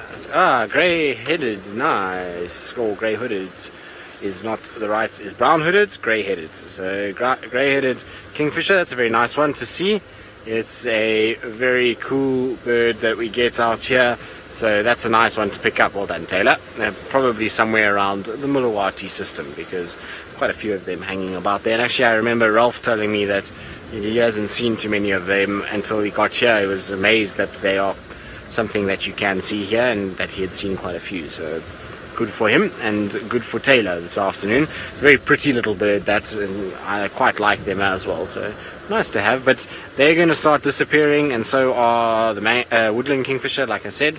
And so soon we're only going to be left with our brown hoodeds who have been subdued and quiet and kind of been pushed into the background by the boisterous woodland kingfisher. And it'll be nice to kind of see them hanging about again as well. But for us, it's been uh, very quiet. We have seen little to no sign of any animals, so no um, impalas, no kudu, no waterbuck, none of that. It's been very, very, very, very quiet. And maybe that means that something is lurking and has caused a bit of a disruption. You never know. Maybe that's the case. So I'm trying to scan under every single one of these shady spots and just trying to double check that Hukumuri is not lying in under one of these thickets and taking it very easy in this afternoon heat.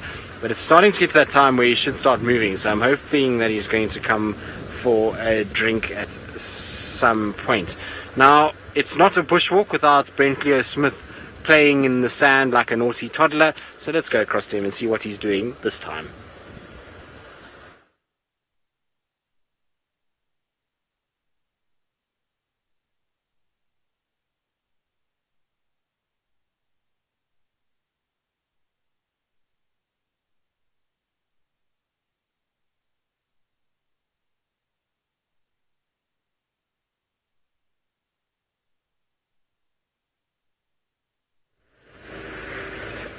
Oh no, sorry about that, everybody.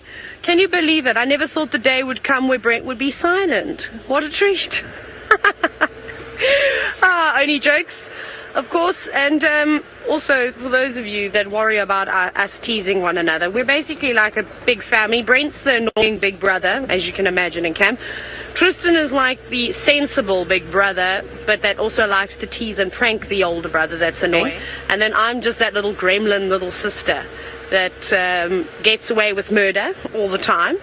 Uh, I don't know how I do it. What's Scotty? I don't know. Scott's like that fun uncle, hey? Not that he's Scott's old, but he's just like. Uh, Nikki has now said he's like a child. I, I didn't say that, Scott. That's not me.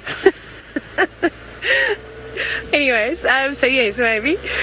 But yeah, we all we all have a, a lot of fun with one another, as you can imagine um, and we tease and we have fun and I'm, we're still trying to figure out that Steve though, hey? And Uncle Ralph, Uncle Ralph will be back soon. He, he's uh, he should be coming back in the next two weeks, so you'll all be excited for that. Uncle Steve got back today, and uh, we'll be starting drive tomorrow afternoon. And well, when's James coming back? I don't know when James is coming back. He's coming back. Gone anywhere. We're still all here. I feel like that's important to let you all know that no one is left still here. We're still having fun. Um, we've obviously moved on from the lions now. We're just having a quick scratch around. Maybe we get to do some birding. And uh, we're going to head towards Buffelshoek Dam and have a quick look around there. Right, it seems as though Brent has managed to find his voice again. Let's go see what took it. Yes, Taylor, you've never lost your voice, that's for sure. Uh, yes, the very irritating little sister is Taylor McCurdy. So I'm digging in the sand for something we don't see too often on safari. And it sh- there should be somewhere here.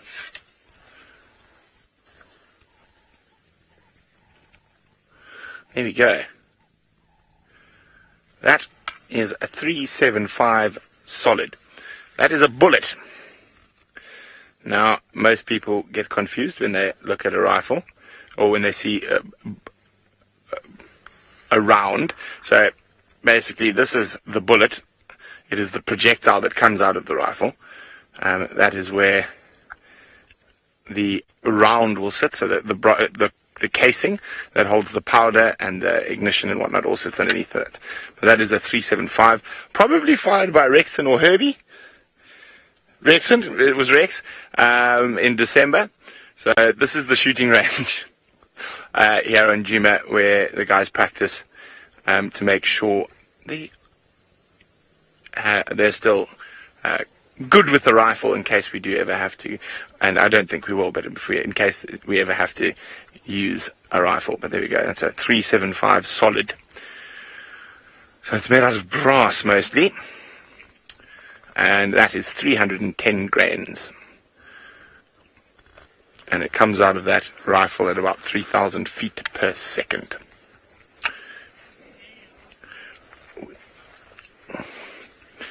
Now, another reason we stopped here is to answer Dale's question. Dale was wondering how deep does the sand go here? I was assuming you were talking about the, the top layer of sand till you hit a different substrate, Dale. Um, well, it depends on where you are. Uh, up here on the crests, not too far, before you get down to the sandstone sort of quartz soils. So you get down to the quartz soils. So there we go, you can see very loose quartz. So that's how far down, probably about two or three meters. You can see here. This is we're in a quarry now, and Hukumuri's walked straight through the quarry. I'm gonna shoot you, Craig. he doesn't look very impressed with me. I shot Craig. Where did it go now, Craig? You've lost it. Where? Am I being blind? Did I stand on it? Ah, there we go. Okay, let's go keep following Hukumuri's tracks. Should I shoot Craig again? you can see him. Uh, Craig gives me a hard time when we're when we when we're off air. So I got I got to take my opportunities when I can when while we live and you can't do anything back. Hey Craig. Hey Craigie. Okay, let's go see how my annoying little sister Taylor McCurdy is doing. Now, here's another interesting relationship in camp. Brent and Craig are like an old married couple. You miss hear them, they bicker, and then they're best friends again, and then they bicker, and then they're best friends again. Then Brent does all sorts of things that annoy poor Craig to death, and poor Craig just puts up with it. so uh, the camp dynamics are quite entertaining, quite funny. We all have an argument with one another and then we're best friends again two seconds later. It's very dramatic, which is why we're all like siblings with one, uh, another. Because you know, all of you that have got siblings know how you can fight, and you'd think, goodness, if you fought like that with a friend, you'd probably never want to be friends with them again. But you can't choose family. And when you're with the Wild Earth family, well, we op- we welcome you with open arms, but then we also lock the door behind you so you can't escape. it's a trap. Right. So, Viam and I were just chatting about Thandi, and um, he was on camera with Tristan when they last had her. It was around a little bit just further west of us. So we're just having a quick scratch around to see if we can't see anything. I, I don't know where Tristan is because I don't want to be bumbling about where he's driving. Um, I mean, I'm going to be driving all over. We're just going to do a loop here. So I'm, I'm basically going up Drakensberg Road now.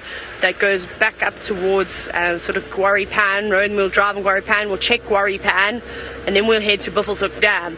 But so far, no tracks on the ground just yet. Lots of antelope and things that we're walking around here. Oh, a bit bumpy.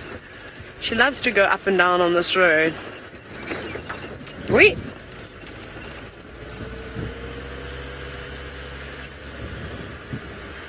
Ah, nice, Debbie. Debbie's on a roll today. Just going back to the collective nouns we were talking about with lions and, and getting creative. You said a lion of lions. Very funny. Very entertaining. I like that. Nikki likes that. As well. Nikki's now doing an evil laugh. And I don't know how she does it. Her, like, you know, normally people go, ah, ka, ka, ka, ka, or I don't know. Nikki does this interesting one. It's a strange one. It's a little bit eerie. Like, if I heard it at 2 o'clock in the morning, I'd be frightened. She goes, meh, meh, meh, meh, meh, meh, meh. That's the sound that Nikki makes. she does her, her fake laugh. Right. Come on, this is the time for leopards to be out on a walkabout to go and get a drink of water. So perhaps I'll just pick up the pace a little bit to get towards Quarry Pan. Might even get some ellies. Ooh. Right. Proud cat mama, you have just asked what or which predator species do I think is more aggressive in terms of being either solitary or social? I think I got that correct. It's a tough one. I, I don't even think it goes down to that. I think it goes down to their personality types. Um, I mean, lions are fairly social, so again, because they live in groups, maybe they won't react in such a, an aggressive manner because there's many of them. If, even if you go towards buffalo, look at buffalo. Buffalo bull that's in a herd of 200 other buffalo, in a breeding herd, calm, relaxed. Maybe will snort at you. Buffalo bull that's on its own, terrified for his own life, takes everything very seriously and doesn't like to joke around anymore because he's worried. He's only got his eyes, his ears, and one nose to sort of keep him safe. Let's have a look to see if anything's come down here.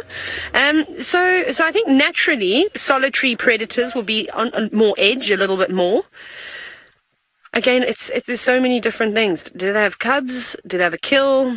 All these things, of course, come into play. But I, I think I would say maybe a solitary predator is a little bit more on the aggressive side. Right, you've got a spider web. Oh, VM just told me that's his spider web. Turned it back. Nothing is drank here at Quarry Pan, so off to the next watering hole we go. Let's go see if um, Brent is actually going to find us a leopard on foot.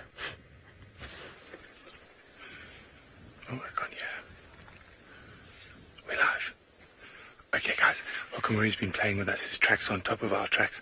We've just had Squirrel's alarm calling now, so I think he's been trying to avoid us, and we've been sort of dancing around each other all afternoon. Where do you want to go, Rex? Yeah. So this is where we think he is. So the squirrels are alarming in here. His tracks are on top of our tracks back here coming through. So I've asked Tristan to come into the area just in case we do spot him. Uh, rather get the vehicle in there. He's much more relaxed with the vehicle, but he's got to learn. We're not going to give up tracking him.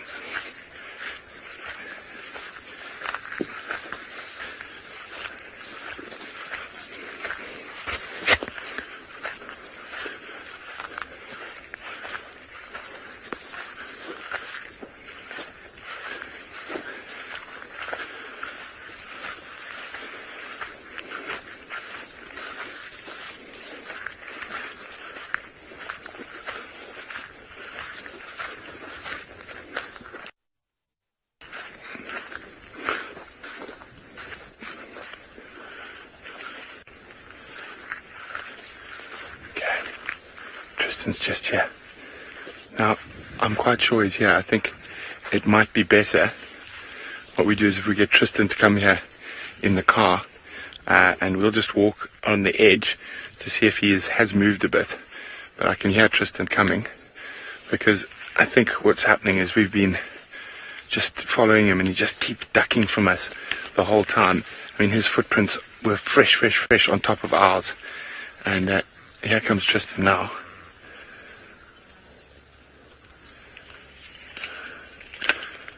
Okay, we're just gonna look a little bit more around here while we wait for Tristan. Let's jump on the back with Tristan as he makes his way in here so I can concentrate on what's going on around me.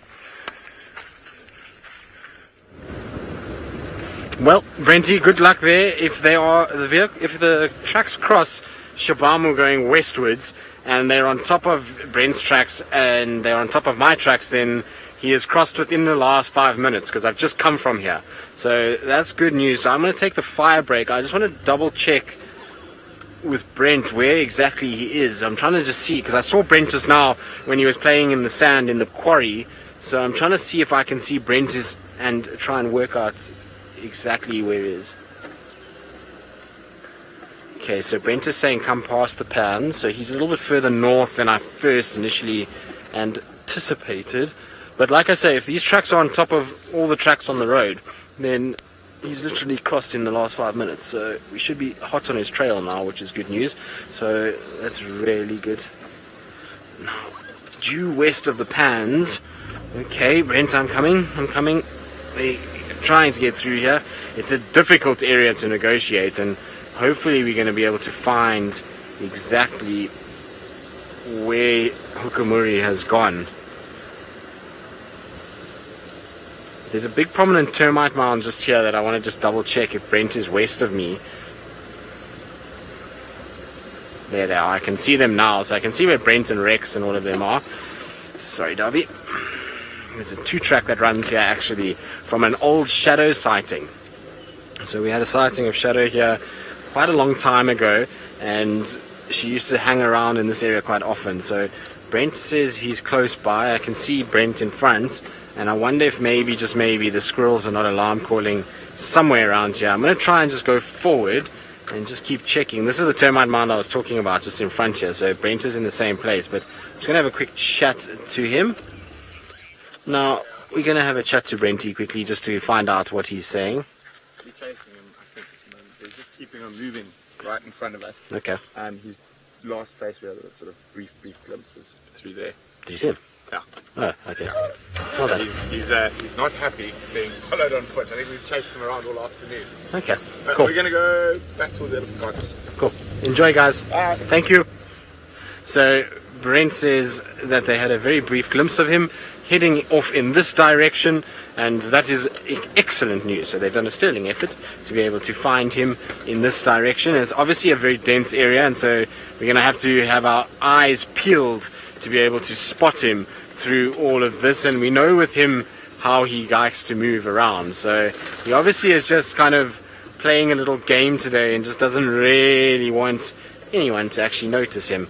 Now the problem with him is that when he feels like he's not going, well, can't really kind of get away from you, then you have a situation where he will just kind of stop and lie down and settle in the long grass, and it becomes really hard to see him. So we just got to pay attention. I know there's also a massive hole here somewhere from Shadow, who dug was trying to dig out warthogs. And I don't really want to end up in that massive hole, so I'm just going to try and go through here as best I can.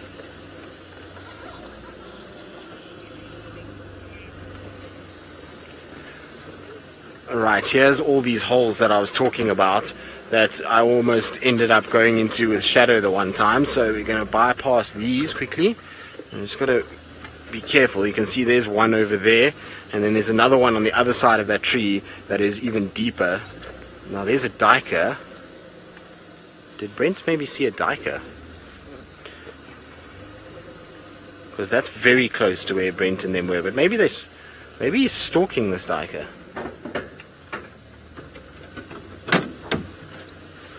Um, hmm. Okay, well, if there's a duiker right here, well, I trust that Brent and Rex would have definitely known a leopard from a duiker. Of all the people out here that would know that. So I wonder if he just didn't change course slightly and head a little bit further northwards.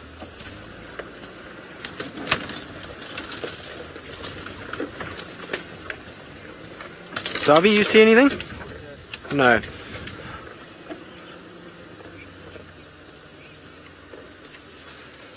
Ah, B. Wilson exactly. Is Hukumuri tracking Brent or is Brent tracking Hukumuri? Difficult to say, really. I feel like it's a bit of both at this stage. What's that there, Darby? Is that just dead leaves straight through that gap over there? Looks like dead leaves. Or is he sitting somewhere there? No, those are all dead leaves. So I thought maybe those were. Hmm, I don't know. This is going to be very tough to find him and try and see him. We'll try and kind of figure it out. While we do that, let's send you back across to Taylor McCurdy and find out what she's been busy with over the last little bit. Okay, I have to warn you straight away. Don't panic. No need to be alarmed, Nikki. We're going through. We're going through a grim patch, but I promise you we'll get through this together. Everybody hold hands now through this dodgy spot, but we'll come.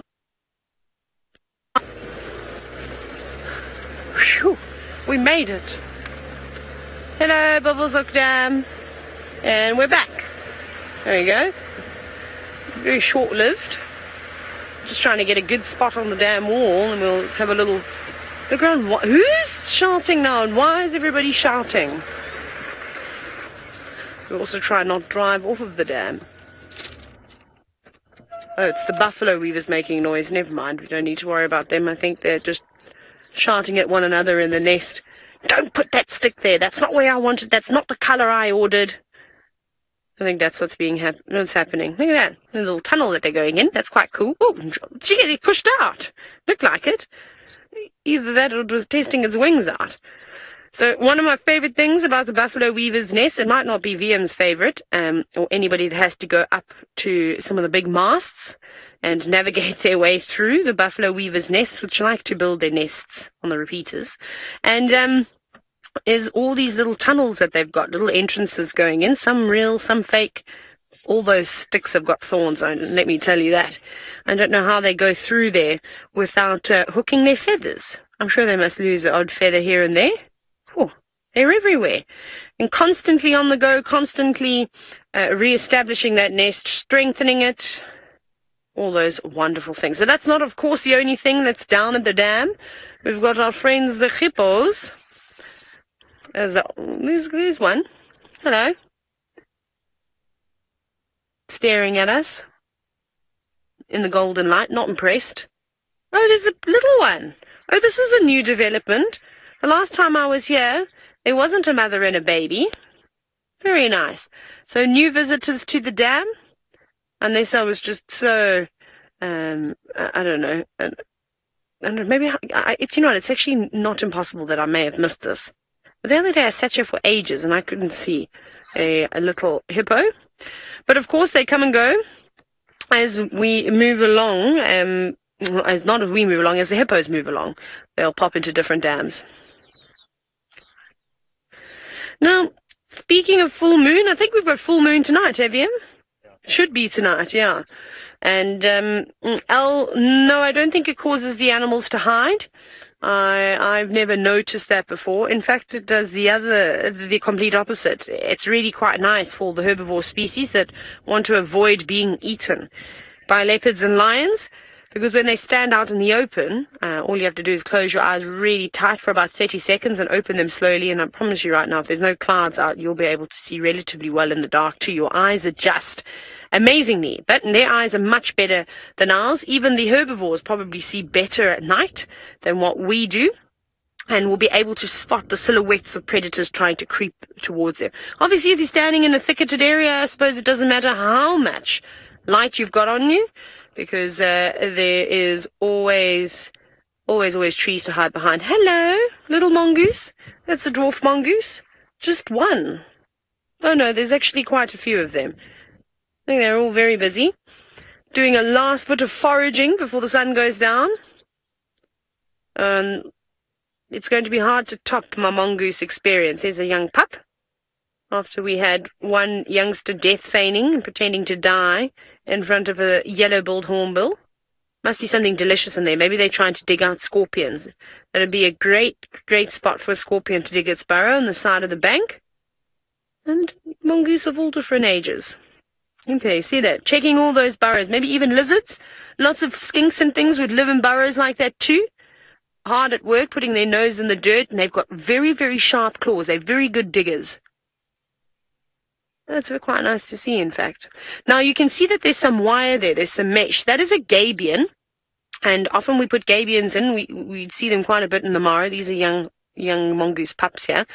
Um, what what they do do careful is they take this big mesh, they pack it with quite large rocks and make it sort of into like a square rectangular shape and they use it as a reinforcement, often to try and stop erosion or to support banks and bridges and things like that. So it's something that you learn to make uh, when you're training as a guide. It's not just conservation management. This is something that we are taught as well.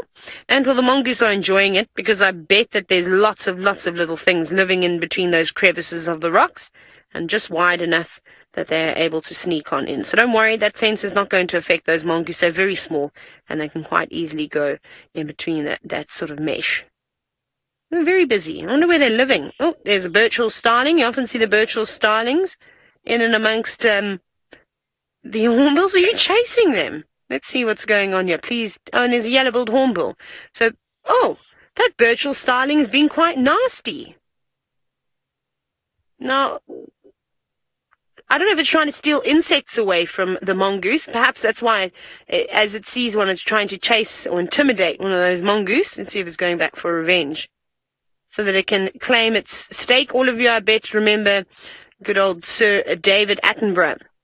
Uh, I can't remember, I think it was Africa, where the fork-tailed drongo is with the meerkats and doing the alarm call like the meerkat so that they run away, but only does the, the alarm call of the meerkat when they have something like a scorpion or an insect of sorts, because then they run away. Then they don't care about food, and the bird will swoop on in and steal it. They're quite clever. So maybe this Burchell starling is trying the same sort of tactic. It is. It's squawking. Every time it goes in, it goes wah, wah. You said that you love these little mongoose. Me too. We all do. My favorite thing in the whole world to do is actually to get out the car and sit on the ground uh, near a mound of theirs and then watch them come out eventually. If you sit very still and you stay very quiet, they'll move around you. These birds are very busy. Eloise, I think I'm very lucky in having the most bizarre sightings. Like I said, I'm okay with not having say maybe the best lion or leopard sightings or watching them catch things all the time. I, however, thrive off of the small, interesting encounters uh, that we, we have out in the bush. Ones that, you know, I'm going to be able to tell stories of that people maybe have never seen before. So watching a dwarf mongoose death feign for entertainment because that's purely what it was. That hornbill was never going to attack um, those mongoose, and, and I th- they live closely with one another. You often see yellow-billed hornbills. It was just like it was looking for a, re- a reaction um, from seeing the mating gerbils. Very interesting sighting. Learned a lot about them that evening. Uh, what are the great ones have I had? I had. Uh, I'm trying to think now. VM. This, you know, sorry, I got excited then. I used my hands too much. VM and I, that best sighting I've ever had in my entire life was the serval with the hyenas hissing and snarling at them and then eating off of their kill. That was really cool. VM was on camera with me with that. And I think I only spoke about it about a thousand times while I was in the Mara. Well, here we go, thousand one, because that was a goodie as well. I do. I have some really great sightings. What else do we have at the dam? lots and lots of creatures here. Do you think, I don't know if we can get close to those mongoose, because that's where the Bermuda Triangle is.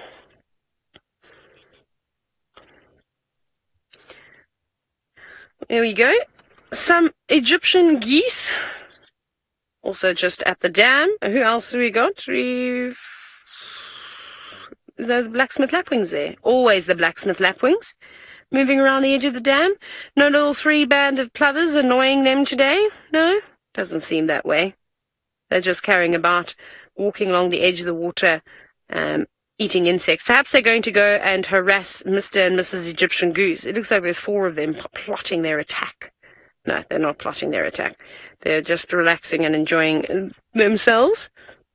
I'm trying to work out where those mongoose are living. There must be a termite mound somewhere there. Somewhere close by. Mm, there's a, that's a red-billed hornbill now, another bird species joining the party. Run, run, run. Very vulnerable for them to be out in the open as well. They need to be careful. Ah. Weedy, you said the mating tortoises. Yes, that was actually on the dam wall. I, have had actually had many mating tortoise sightings, but the one that I'm referring at was when we are looking at Egyptian geese, where we are now. And then the next minute, out of the corner of the screen, came mating tortoises. The female speaks sent tortoise with desperate away from the male. That was quite funny too. Some I've had some crackers. I um I really am. I continue. I really do. Egyptian and the, the crowned cranes versus the juvenile python in the marsh and the Mara. That was epic. The crowned cranes almost fighting to the death. That was amazing. I mean, that changed my opinion completely. What about the water scorpion launching itself out of the water trying to catch a frog. That was also in the Mara. That was epic. That was really cool. Did it get something? No, it didn't. I thought it had a little insect in its mouth, but and sadly, it didn't have a little insect. They're actually using those the donga quite well. Oh no, don't please don't give me another awkward sighting, mongoose. That was so close.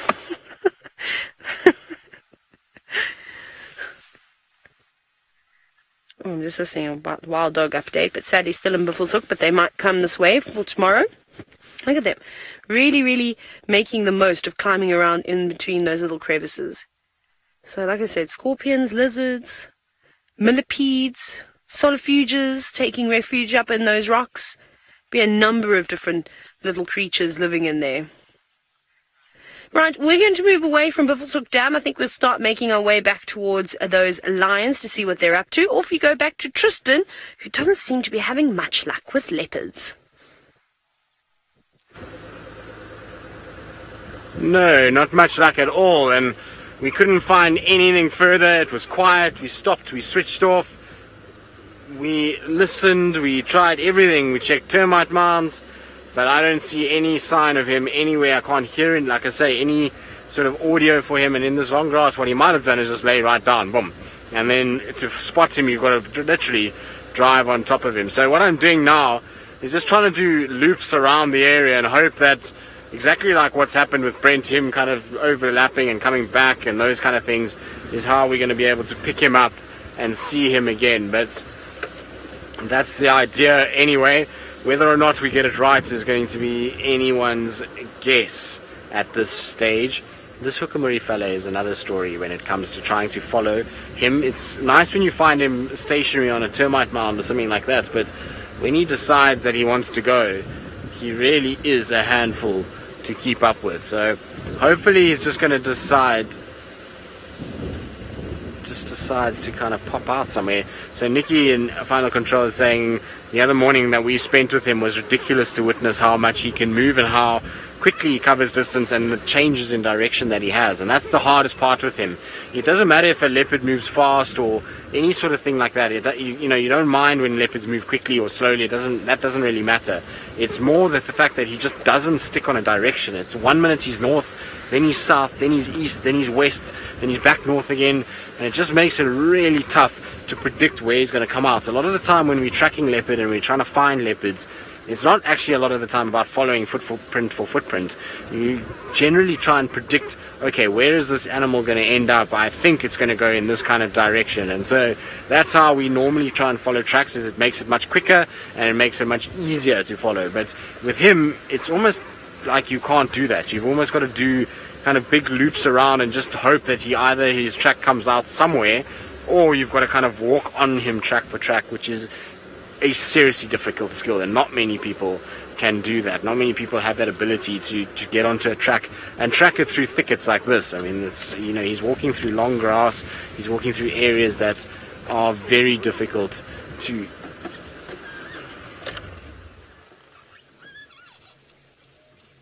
Thought I heard a francolin alarm call. That's why we just came to an abrupt stop, but it's gone quiet now.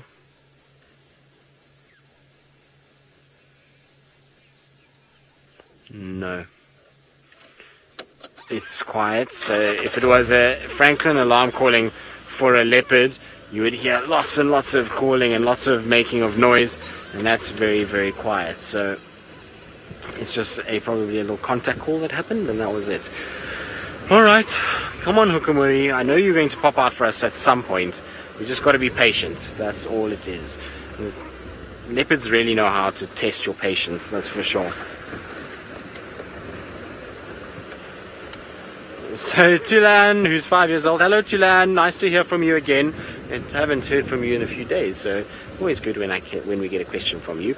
And you want to know if I think that the animals know that it's almost Easter time. Well, yes, Tulan, I think they do.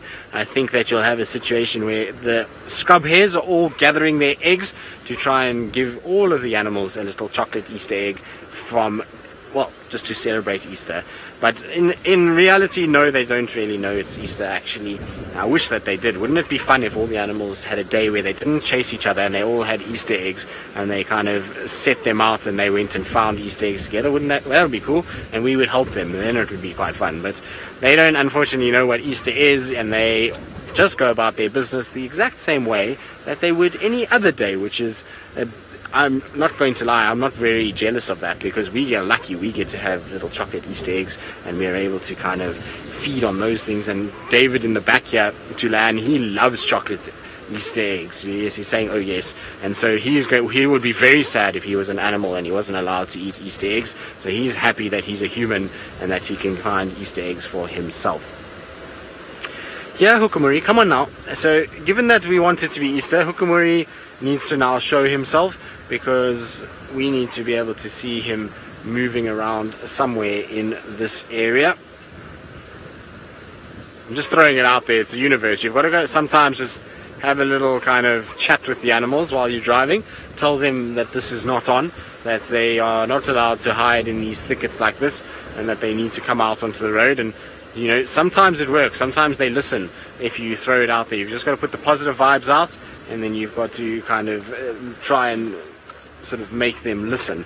And that's what we're going to do now, because otherwise, I'm not sure we're going to find Hukumuri in amongst this nonsense that is this block to our west and east, actually, funny enough.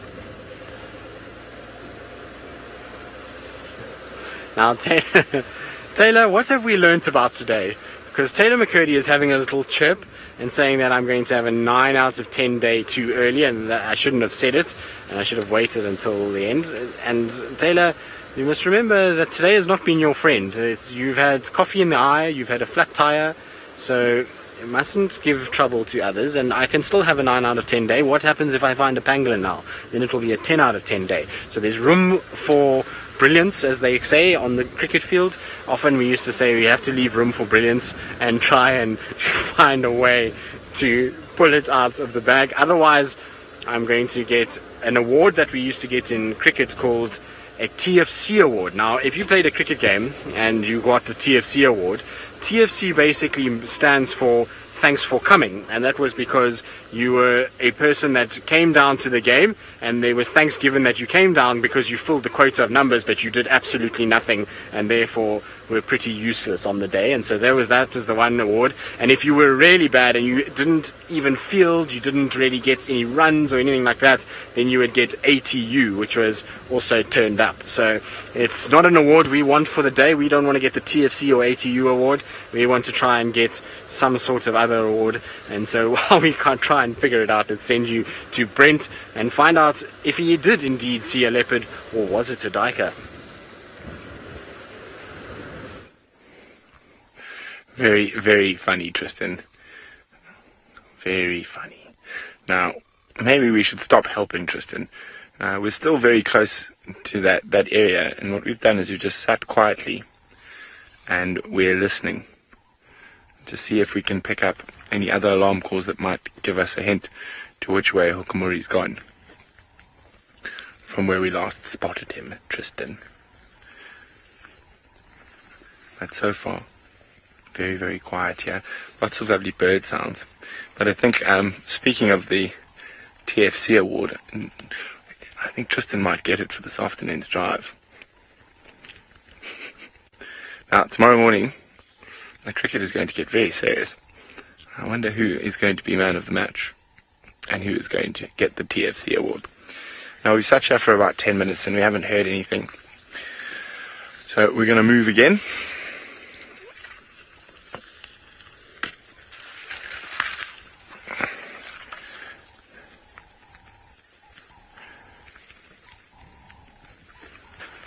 He is a sneaky leopard, old Hukumuri. Okay, let's get going again. Away from Treehouse Waterhole.